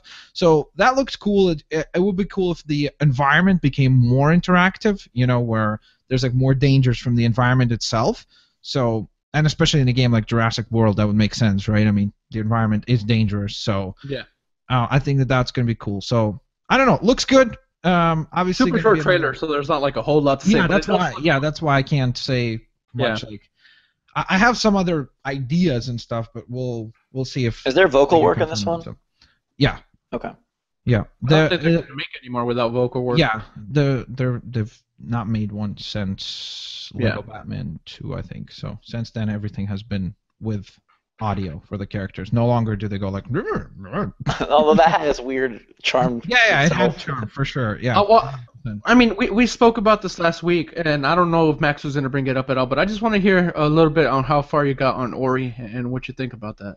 Um, I am. Um, I just started playing it. First of all, the the one thing is like uh, I told you before we started. Yeah. Um, I didn't expect what happens at the very beginning to happen. Like yeah. I was It's a like, little, a little what? sad. A, a little sad. It's like A Bambi for big kids. Jesus, I was like, gee, this is like up all over again. yeah. crushing my soul at the very beginning. I'm like, and I, the only thing that cheered me up now is knowing that Gabe said that the ending is happy. So the, the ending is very I'm happy. looking forward to that. Um, it's first of all, I was surprised how difficult it is Told you. because you guys said that it was going to be difficult, but I was like, wow, this is like. But it's again, it's not like difficult, like oh, this is unfair. It's that kind of thing like where I feel like It's it's my spot that pushes you forward. Yeah. Yeah, it's my fault when I fail or mess up. It's not the game's fault. So I was surprised by that. uh, obviously beautiful. We you, you guys talked that into the ground, and uh, I'll try to finish it by next week for sure. I was gonna try to finish it, but just ran out of time. So How far did Um, you get? I am. Let me check. I saw oh, someone say that Ori and the Blind Forest is the best Xbox One exclusive. You think that Dude, holds is. weight? It is. Name it. Sunset? I, I like Ori better. I love Ori. I, I don't know how good it will be towards the end, but I told Yeah. you like this is as good as like, like I agree with you guys. It's the best game this year for sure already, and I haven't even finished it uh, because of what it does. It's it's like it, it's gaming at its purest form of where like Mhm. they take advantage of what games do well. They don't try to be cinematic or anything, but at the same time, it just has so much substance and weight to the Yeah. stuff that happens. So Exactly. Hmm. Besides Sunset, which I, I can agree, you can make an argument for. there is Besides nothing that, else. yeah, like is there like No, no, not really. The the launch stuff doesn't hold up very much. No, there anymore. isn't. I mean, like if you're a huge, There's very Dragon few fan, exclusives, maybe, so it's like, right, you like know. Forza, and that's it. And, uh, yeah, I agree though. This is the best Xbox One exclusive. To me, Ori is holding the spot that Shadow Complex held early in the 360, which is like my favorite downloadable game. Loved it to death. And Ori may even do things better than Shadow Yeah. Complex does in terms of like being a little bit Metroidvania with a lot of traversal. It's a fantastic game and like a Yeah. must buy at twenty dollars. Yeah, I just wanted to check in with Max. We don't need to have a whole nother Ori conversation. yeah, but that's why I tried. I'm, I- I'm glad you enjoyed it. Cool. Yeah, yeah. Any other games that I uh, played I this week? completed uh, Kirby. Uh, Kirby. Wow, I Kirby. can't talk. Kirby Triple Nint- Deluxe. You Boom. talk about people forgetting Nintendo. Even you're forgetting Nintendo. Yeah. I played Kirby Triple Deluxe. I finished it. I'm I'm on my adventure of completing every Kirby game 100%. Okay. So uh, the next one that I'm going to be playing is the newest release, Rainbow Curse. I'm finally getting around to it. It's still shrink wrapped over there, uh, but so that's going to be the game I'm uh, tackling over the next week because I finished uh, Triple Deluxe, and that game is awesome. That game is incredibly, incredibly cool, Yeah. and uh, has some really sweet boss fights and a ridiculous amount of value for a game because like you you start with like three game modes. I guess that's why it's called Triple Deluxe.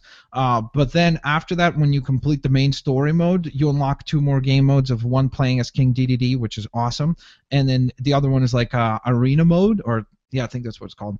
Um, and basically where you take on boss fights, and the key is to try to get the best time in defeating ten bosses, and like you basically try Yeah. to get your Hmm. score better and better. Great game. Check it out. Available now. Nintendo 3DS. I got it Been for avail- twenty it's bucks. been available. no, it's just it's new. Gabe, I wanted to do a, a little Resident Evil check-in. Um, the game finishes up this week. I've heard that Yep. it finishes up really terribly. I heard that. I don't know. Great. Um, How was All this three? build. Episode three? Were you were you cool with that one? I haven't I haven't played episode three. I was sick. Remember? Okay. So I'm Maybe doing you had that. The virus from the game. Maybe I finished. Um, episode two is the last time I played. Then I got sick. Didn't play episode three, but I'm gonna power through them maybe tonight or tomorrow, so, something like that. Make some videos on it. So was it one of those one of those sicknesses where you just couldn't game? It was that intense of a sickness. Well, because I wanted to play, but I just wanted to make videos But he on was it. Playing basketball. talk. Oh. Yeah, I couldn't yeah. talk. Too sick for games. Yeah. No, I always I had this thing couldn't- where like I kind of wanted to get sick so I could just lay in bed and play games all the time. oh come on! When we were kids, that's like the ideal scenario. But then what would happen Yeah. is I'd get so sick I couldn't even didn't even want to play. Like you just want like that light cold. This sounds horrible to say, but you just want like that, that light cold where you can't go to school, but you're like totally like fine. Your, Fully your faculties yeah. are there. Your Yeah. eyes are good, and you're like I'm diving into Super Mario Sunshine. world. Yeah, no, my problem was that my voice kept going, so I couldn't Oh. make any videos. So that that yeah, I I figured, well, let me just wait till I can at least talk, and then I can play through this again. So The shackles of YouTube get you once again. yeah, well, I mean, hopefully we can both finish it sometime in the week, and then talk about like the. oh, I'm gonna play it too now because Yeah, So the it's retail in there. I the- bought all the like I have it on uh, Steam like the whole pass. So I'm Yeah, so all three of us will be able to talk about it. yeah. Sounds good. Uh, New episode breaking. of Borderlands came out too today. Did you play that? Episode two? No, isn't it? I out? forgot that was coming. Yeah, it is out. I saw that. Oh, never Breaking- mind. Well, I'm guessing you didn't play it. break, break, break, break, break, break, breaking news. Uh, on the business front of things, um, Sony announced that PlayStation brand brought in 4.37 billion dollars last quarter. That's October through December 2014. Cha-cha-cha-cha-ching. Uh, that's a significant sales increase of 16.8% year over year. Um, they sold 6.4 million PS4s in the fourth quarter of 2014. Um, the same quarter of the previous year, the launch year, they only sold 4.5 million, which is pretty awesome. That I, I read articles all the time. Oh, the console market is constricting. There's less and less. Clearly not. the market, the, the, the console market is fine apparently. Yeah, Like, it sounds like a lot of people who want it to fail. That's what they keep saying, but Yeah. then for some reason the numbers keep completely defying that, like and saying, nope, not really. It's actually doing better than any generation. Like it- Yeah. it's it's just doing substantially well. So And I don't know. I'm, it's great news. Uh, it's also good news because I feel like uh, for a little while there, Sony almost looked at PlayStation as kind of like a throwaway part of Mhm. their And now it's saving them. It's the only it's, thing making them money. the thing that they're focused on and they're holding on to, which is a good thing. So Yeah. uh, uh, that's great. And this is awesome news because it kind of completes our earlier discussion on Nintendo. Um, they just had a, a Business Insider report. How much percentage do you think Nintendo shares have gone up so far today? What Up? percent would you guess? Have gone up. Yeah, since the mobile announcement. Forty-three percent. Forty-three percent. That's massive. No. Uh, Max is the I business guy. That's why I'm asking. nine. Nintendo shares were up 29% on Tuesday following an announcement from the company that would start making games for mobile devices. That's. Hmm. I, You see, I, I would think I it would wonder- be higher. Hmm. I, I don't think it's going to close that high though, because I, I just I don't know. It, it, I feel like this is a like blown out of proportion. Like I don't think it's going to be as big of a thing as we think it is. I think it's literally going to be Nintendo saying, "Here, use our IP." I just think they probably view it like, hey, how many mobile devices are there? Now our sales base has expanded. Yeah, no, no, of course. That- that's what investors look at it as because investors look at it as, whoa, Nintendo, Zynga, Right. look how much money Candy Crush and all this other stuff is making. Okay, that's Is, is Candy Crush Zynga? Is that them? no, no, no. I'm uh, Candy Oh, okay. Crush. Is, wait, it, no, it's not. No, no. No, because I because I keep somebody hearing else. that That's, Zynga's uh, like dying. Yeah, Zynga's not doing great, but that's because they just kept stealing ideas. Never mind. Let's not talk about that. Um, what else? What else? Where, Did- where are we going, Zach? Where are we going? We're well, going to going Hype City. some, uh, oh, Wait, Hype wait. City. Do we not have reader email? We're Or is that do that. Guys, We do- we're going to hype. we got to go Hype City first. that, okay? going- All right, The, all the right. readers are patient and waiting, but Hype City, that thing could blow at any second. You know how hype goes. It's there one True. second, and then it's gone. So we better Yeah, hit look it. at Battlefield Hardline. Yeah. Mario Party 10, Battlefield Hardline. We better You get it guys the just going's shattered my dreams for this week. It's like just, but that's Hey, what you happens can with play the gaming Final sometimes. Fantasy 15 demo, Or you could finish Ori. There you go. No, I will finish Ori. That's the game I'm. or you can play Zigzag. Do you guys have Zigzag for your iPhone? Mm, Everybody's on that now, apparently. That's Is a that new thing. new- is that the new like threes or whatever? Zigzag is a game where you're, you're zigzagging around a path. Every time you tap the screen, you change direction. It's pretty hard, and it makes me want to punch myself in the face because it's one of those games you feel like you should be able to do super awesome on, and yet your fingers fail you over and over and over again. It's But good. da- Watch. download that. My So, fingers never coming- fail me. Coming uh, this fall, Mario Yoshi, uh, their Zigzag. version of Zigzag. Yeah. It's a little Mario on Yoshi riding him, and then you yeah, just uh, exactly. There you go. Millions of dollars. Hype City. Hype It's City. interesting time. Okay, come on. some- Do Final we, do we really need to do this? Final I think so. Fantasy. Are we not going to talk about just Bloodborne? It's I'm saying Final Fantasy. okay. I'm surprised. Gabe says Final Fantasy 15. I don't know if you have anything else to say on that. We talked. No, man, that, that Covered it. summons video is crazy. It's just so far away. That's Yeah. why. But I I have believe mine. Zach. If you guys can't can't decide where you're taking your No, I'm taking a Bloodborne. Okay. Well, give us give us it. What's what's Bloodborne doing for you? Same things that it did before, and then now uh, It's a week away. that- well, yeah, that's the number one reason, and then B, there is apparently some multiplayer components and such. So that sounds interesting. I'm smiling so big right now. Bloodborne. I cannot wait to How- play it. Okay. You can hang up the call and play it. Yeah, that's what I, was I gonna won't say. do Have that. I won't- Have I you won't- tried it yet? no. Why? How- Why? I had to play Final Fantasy 15. Oh, that's a good. Anyways, guess. My Hype Yeah. City um, takes me to a moment of desperation I had last night. I was driving in my car listening to a podcast. Not not Our our podcast, podcast. No. No. Oh. Um, and not that self-centered. So you're not going to say which rate. they were they were no they were talking about the Uncharted 4 delay, and Okay. positing that perhaps Microsoft uses this time to polish Tomb Raider 2 even further and delay it. And I had an instant response of like, like I almost just slammed my brakes and was like, no, like this is not happening. So to me, that tells me that my most anticipated game of fall is Tomb Raider 2. I think they have to release it now, especially with Final Fantasy 15 is Really? More than Zelda? yeah, yeah. I- I'm gonna I'm gonna say yeah because You just said that Tomb Raider. You were more excited for Tomb Raider than Zelda. You were talking crap about Tomb Raider like a few I months ago. I love Tomb Raider. I've always been behind it, and I think they now have a window where they can dominate sort of the action adventure scene with Uncharted 4 being gone, and Lara can be the poster girl for Xbox's fall. Well, well, for the main Christmas marketing season, you know, Xbox and Lara should really work things out and develop a serious relationship. Yeah, they're just Yeah. gonna sit down, Mr. Xbox. Yeah. It's Phil. Spencer sitting there with Laura. there was a deep dive into the game with Game Informer um, a month or two ago where they talked about a, a heavy focus on crafting, a heavy focus on customization, exploration, much more emphasis on puzzles and tombs. If this becomes like an open world Tomb Raider type thing, or almost you know quest based with lots of temples, different things to do, the gunplay I felt was awesome in the first one. It could be a standout, and now it doesn't have to worry about the shadows of, of Nathan. It can just be Lara all by herself, single lady, running the show in whatever. You don't know if she's single or not. Don't, don't uh, assume. Maybe, maybe that's the reveal. She has a boyfriend, and and it's And Nathan it's- Drake. Yeah, it is Drake. That's why the delay That's the reveal. Yeah. All right. That would be a big deal, man. That'd be quite the twist. So Tomb Raider 2, Bloodborne, Final Fantasy 15, Yeah. There we go. a whole lot of emails. Thank you guys for sending in all your questions and feedback. You can reach us at can'tstopasking at gmail.com. We see and read all of your emails, quite a few this week. Um, the first one comes from Vivek, who is commenting on delays and, and what we talked about last week. Um, this new trend in gaming where developers showcase their games a year and a half before their release and then in between their development cycle delay the game, push it back four to five months is really frustrating. The latest being Uncharted 4. Did we have this many big release game delays in the last generation? This console gen has been full of delays and disappointments.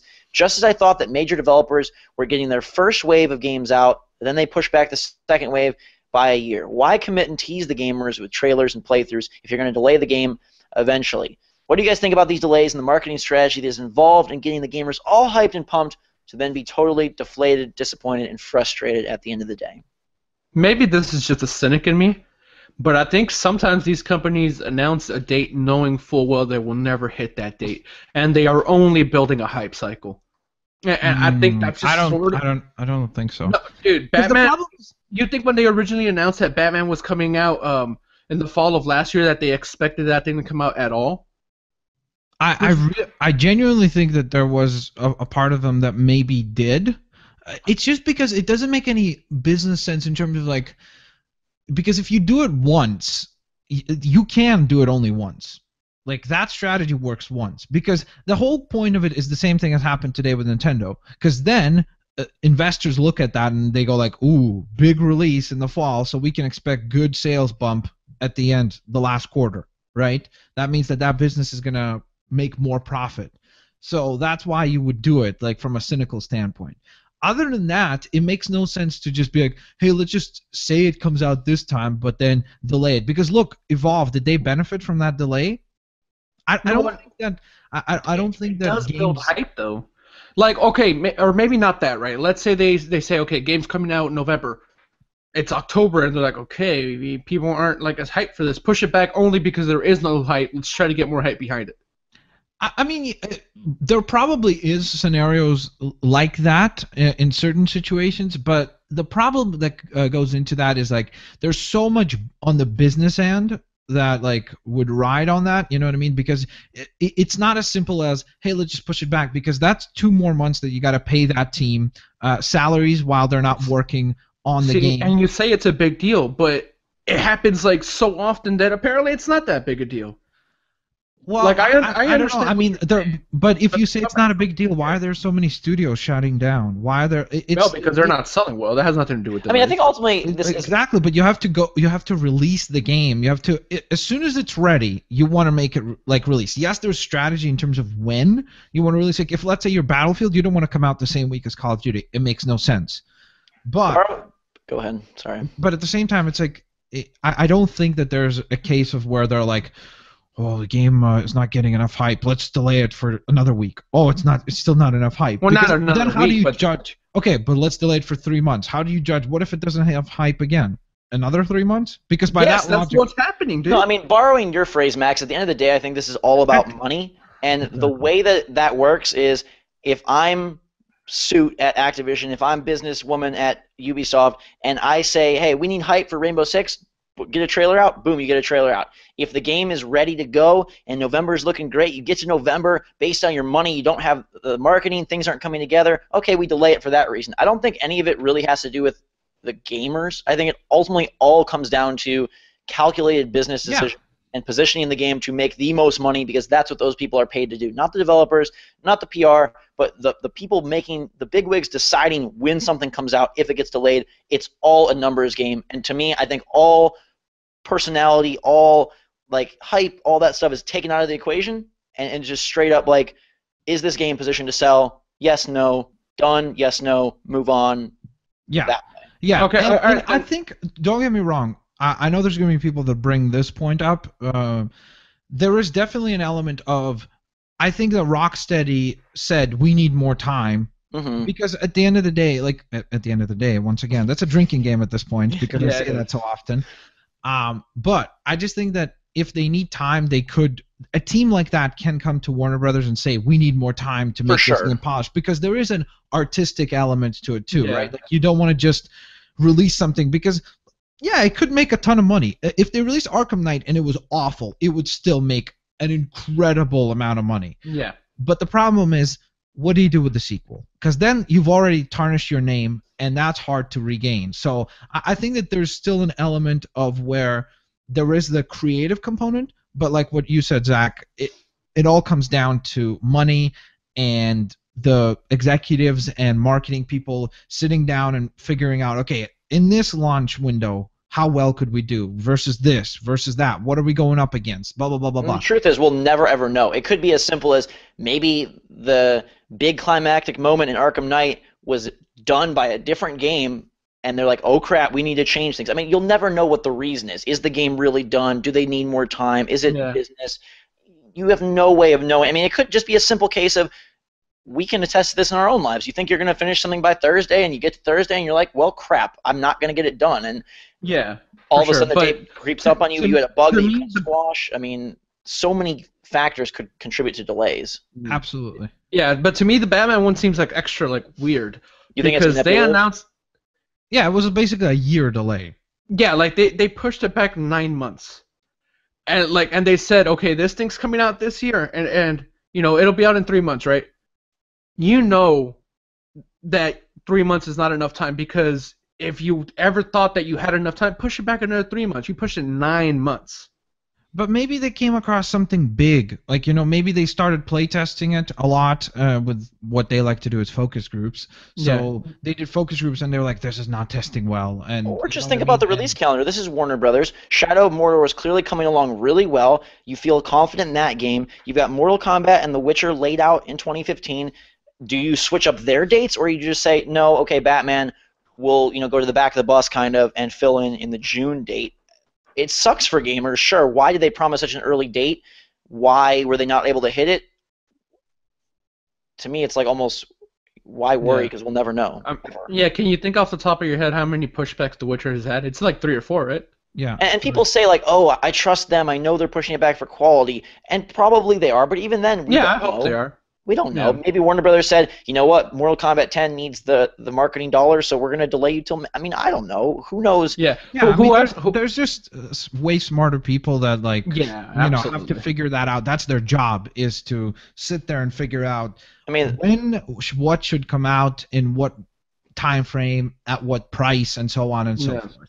So the answer to the Rito question is we just don't know. yeah. I mean, that's the honest truth. I, I think that one point that he did touch on is uh, not the delays, but the announcements. Mhm. That's an issue uh, in its of itself. We've talked about it. I think now uh, we've almost been coached to think of the fact that oh, anything you see at E3 is not coming out for the next at least 12 months. right. You Yeah. know, like we've been already taught to like if it's a new announcement, probably 12 months away. You know, so that's why like it's so hard for me to think that come E3 we're gonna get an announcement. It's something that comes out within the next. And four apparently that does happen. Somebody left a comment on the last video, like say, saying a few games, like recent games, like Far Cry was a big one.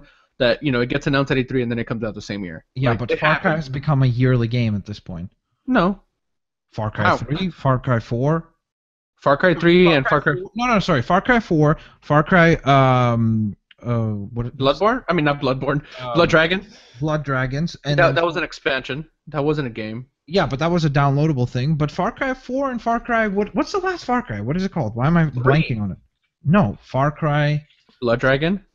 Three and Remastered. then four. That's it. 3 and 4 were they not out a year after year? No, No?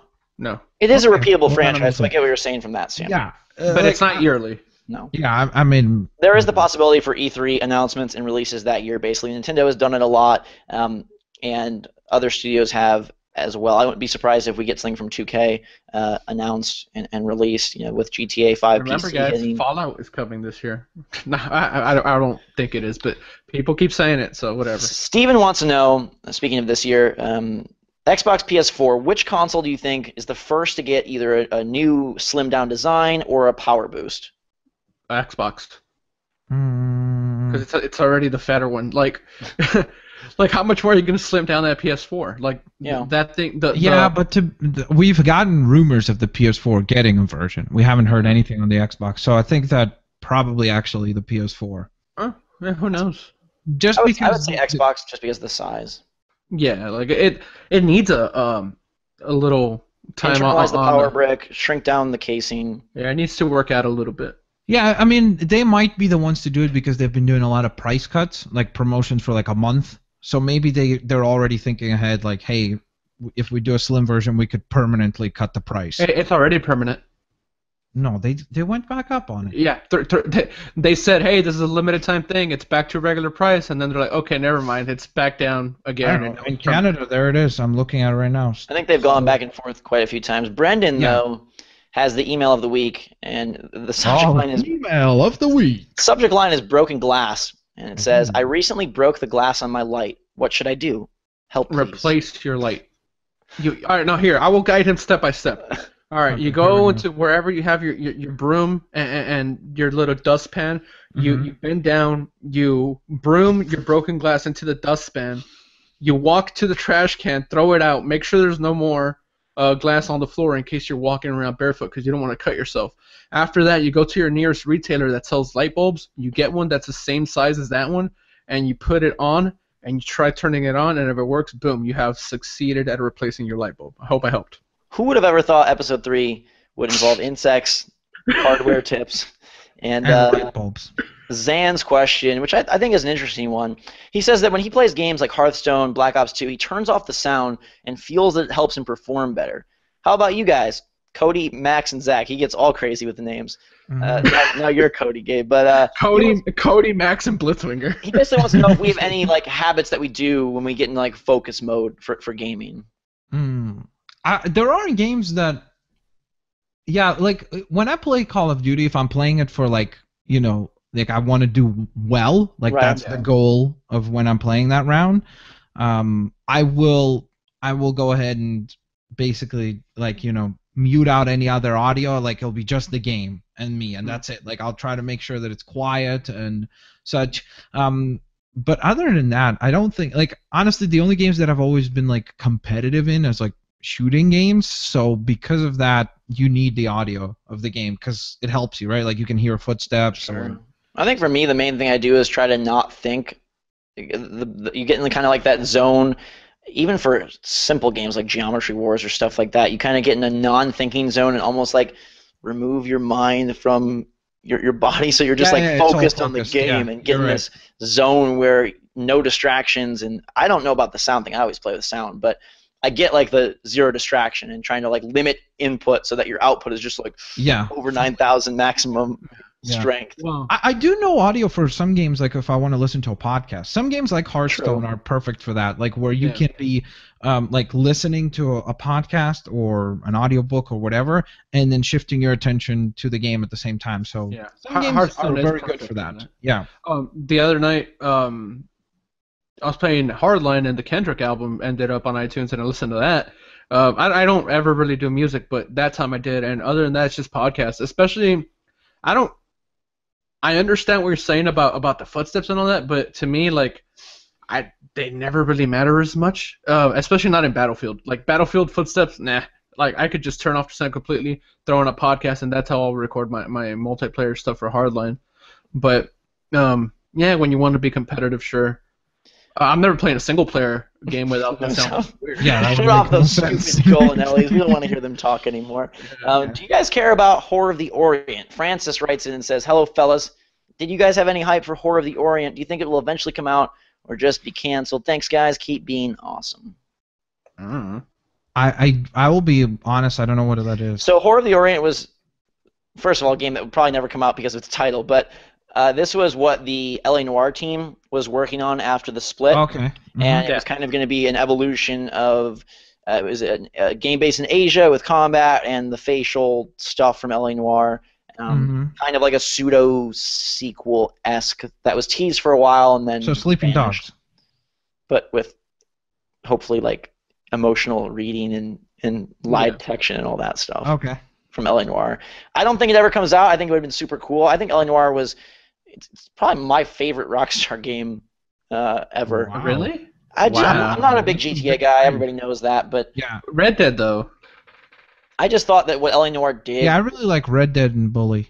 Those detective nice. work, sometimes it fell flat on its face, but sometimes like trying to find the clues and then piecing it together and the little like notebook that you had, I, I thought it came together really nicely and um, I would love to see That- something, but I don't think it. That game will never come out with that name.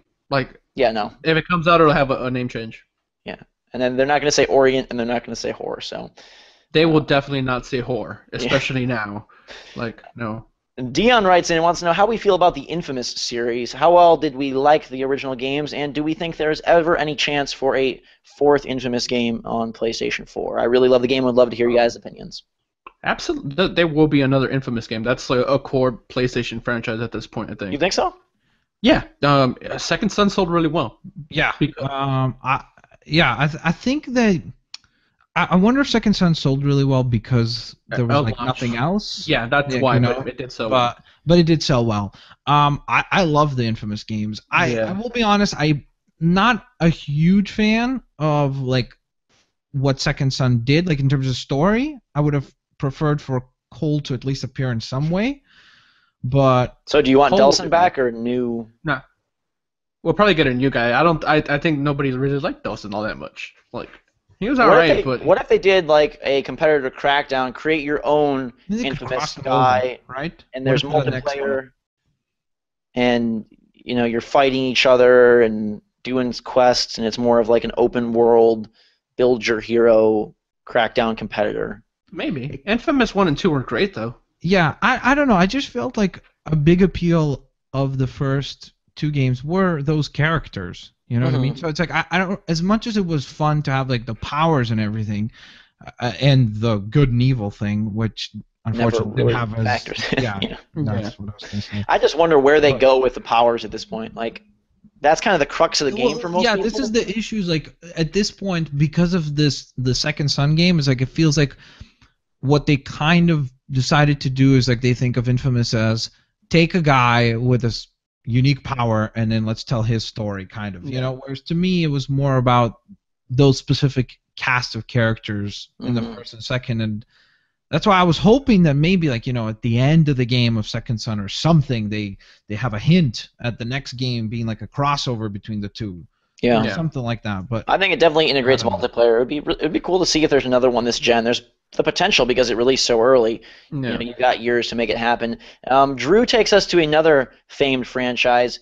Uh, he says he just wonders why people, including us, bag on Assassin's Creed. He understands that Unity was a serious flop in nearly every aspect, but he liked a lot of the things it did. Um, cool customization for clothes and, weaponry. Um, he fell in love with Assassin's Creed 2, and that is the game that sparked his interest in gaming. Um, so he just kind of wants to know our thoughts on Assassin's Creed, and do we think it has a chance to sort of regain itself, or is it lost forever? to me, what they need to do is take a break. Like I don't So, necessarily mind us. I don't mind Assassin's Creed. Just I don't want to play it every year because they're so similar, and, and the characters haven't necessarily been a- a- as great as Ezio. Like I, I, I agree. Assassin's Creed 2 was Mhm. fantastic. Th- that game got you into gaming though. That seems a little bit weird to me. But to each his own. Um, if they take a break and we don't get an Assassin's Creed next year, because we, we're already getting one this year, right? But if we don't get one next year and then they come back like a year or two later, I think my my excitement for it would, would be, you know, much more than the fact that I know there's another one coming, and I know that when they could be putting all their resources into making one great Assassin's Creed game, they're working on like three at the same time. I think also just the open world nature of it, like, is that played out as well? You know, you've got Watch Dogs, you got Grand Theft Auto, you've got Assassin's Creed. If they're gonna keep doing, you know, climb over here and take out this target, run over here and catch this floating piece of paper, like how many times can we do that? Taking a break would be great if they're gonna drastically mix things up, but I don't see them doing that. Assassin's Creed seems to be a vehicle to put in a character, put in a, an era, and they already have the game made. Like here is I mean, they're not going to take a break as long as it keeps selling like hotcakes. Oh yeah, no, they So, won't. But I'm just saying that's what I would like. yeah. Um, I think that what I would like, i- it's kind of like a, a compromise, is what the Call of Duty model, like have different teams work on every year, so that then each game series could kind of feel unique, you know, like, and you could become a fan Mhm. of the uh, Black Ops or whatever equivalent of that for Assassin's Creed, right? Like maybe one of them is faster paced and more different combat, and then next year's is back to the more you know heavy narrative or something like that. Like you know where each team could specialize and find their own style, and then work on that, so that then technically you're still getting a game that feels different every year. I think that's Yeah. the way to go. That's brilliant. I mean, this Yeah, victory, I didn't even think about that. Good job. AC Victory that comes out this year is the first one being developed by um, a wholly different studio. Um, granted, they have a million teams, you know, put all hands on deck to, to finish those things, but this one is being helmed by a different studio. And from the early look that we saw, that leaked footage, it did appear to be a bit more cinematic. Uh, the way that you had a fight Oh, with a dude on top of a cinematic, cinematic. It's Well, just funny. maybe it will be more narrative driven. Maybe it will be less just like.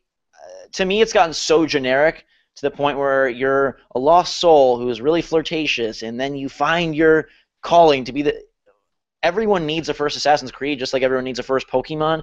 But gosh, like it doesn't have to be every 12 months. Vary it Yeah. up a little bit.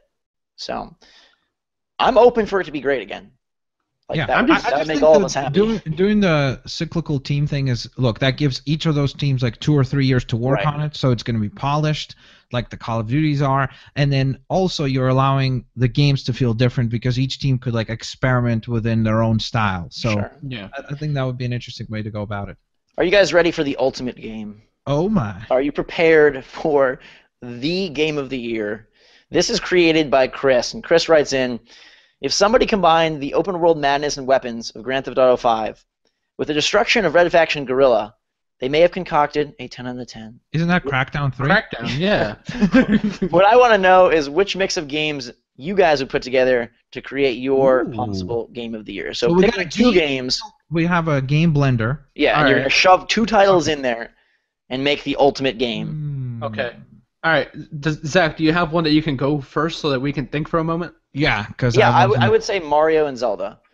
So this is an easy one, but just a I want platformer with Link. I, I want no no no no no other way around. Oh, I want a, around? I want a sprawling Mushroom Kingdom adventure. Like I want to go to Luigi's Okay. house. It's like Paper Mario, but super awesome graphics and combat, like real okay. time.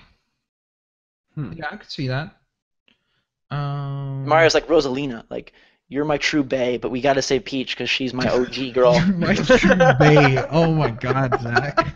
you took it there. Yeah, yeah. Huh. what are you guys blending up? The blender, Okay. it's, it's running out of power here. Again, all right, this is super rushed because you kind of put us on the spot, right? But give me a Metroidvania Zelda. Okay. Give me that. So it's like Dark Darksiders with Link, but even more Yeah. like a contained environment. Like he's in like Ganon's secret. no, no, no. I'm, t- I'm talking like Ori and the Blind Forest, but with like a little Toon Link. Oh, so a 2D game. Yeah, Okay. that's what I'm thinking. Give me, oh, give me Ori with Link. Yeah. All right. And again, that's super rushed. I, I I wish you would have told us about that even Yeah, before. I honestly can't. Like, I'm. The problem for me, I'm more looking at like games, and then I'm looking at like franchises that I would love to like take that model. Mhm. I Okay. can't. I don't know. I'll, I'll do Max's for him. Justice League with Rocksteady's Batman. There you go. I'm. Yeah, I but don't Justice League is not a game. Like I mean, you you, Oh, you, know, oh, you sure. see this is the problem because I would what I would pick is would be Guardians of the Galaxy and Mass Effect. Oh my god, that sounds crazy. That would be Uh, cool. I, how about any game with ZombiU? Like the way that that game handled sort of the rogue like die, go back and recover your equipment yeah. Mhm. in some other way would be pretty darn awesome. Like even Assassin's Creed, like you have this stable of assassins, they go out and do their missions, come back and die, and then you go and Yeah. recover their intel or whatever. See, The very first thing I thought about was uh, mix Zelda with Fallout, but then Zelda? that might be what that might be what this Fallout, what this Zelda is. So I, I would say here's one that I'm just looking at the shelf of games that I have next to me here. Mhm. I, I would do Destiny with Darksiders too, like that world, Okay. but with Destiny gameplay, so that it's actually like colorful and cool and unique. Darksiders too, Yeah, third person.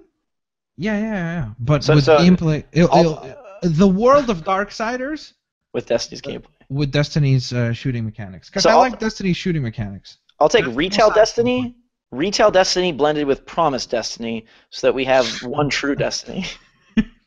Uh, hey, its destiny is to be great. So no matter what, eventually it will it will happen. I, I don't know. Like honestly, I wish I could like think more because the problem is like mixing gameplay. It's like even with your example, it's like you're really like you're not really mixing gameplay. You're just taking the character from this game and then Throw it. you Yeah, know I get what mean? you're saying. So Talking it's like about like actual actual mechanics, Yeah, combining so- those. so that's the hard part. It's like because taking characters from one thing to another is like that. That's what we kind of said.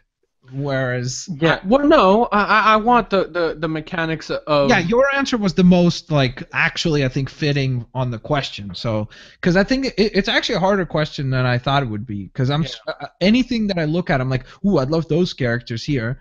But I mean, honestly, I, I could say something like maybe like Skylanders or something like that, and then take like Pokemon, but I got a good one. Have that game. Bioshock and Dark Souls. So it's still a first person shooter with powers, but you're much more tactical, much more conservative, and when you die, they can do anything with all the infinite worlds or whatever. You could go back and have to recover your gear and sort of save this crazy world. It's like super colorful, crazy environment, but Dark Souls level of difficulty and patience mixed with kind of mm-hmm. like the Bioshock powers um, and unique settings. Yeah, Bioshock and ZombiU could work too, where Mhm. it's like different stories told based on which characters you killed. All the zombie bookers come after you because there's like thousands of them apparently. Yeah. Cool. That would be cool. All it's right, a so question. It's a great question. I'd love to Yeah. hear some comments in the comment Yeah. section below. What can you guys come up with? Probably going to Email get us. way more creative than us. Email Pokemon us- with iPhones. Wait, that might happen.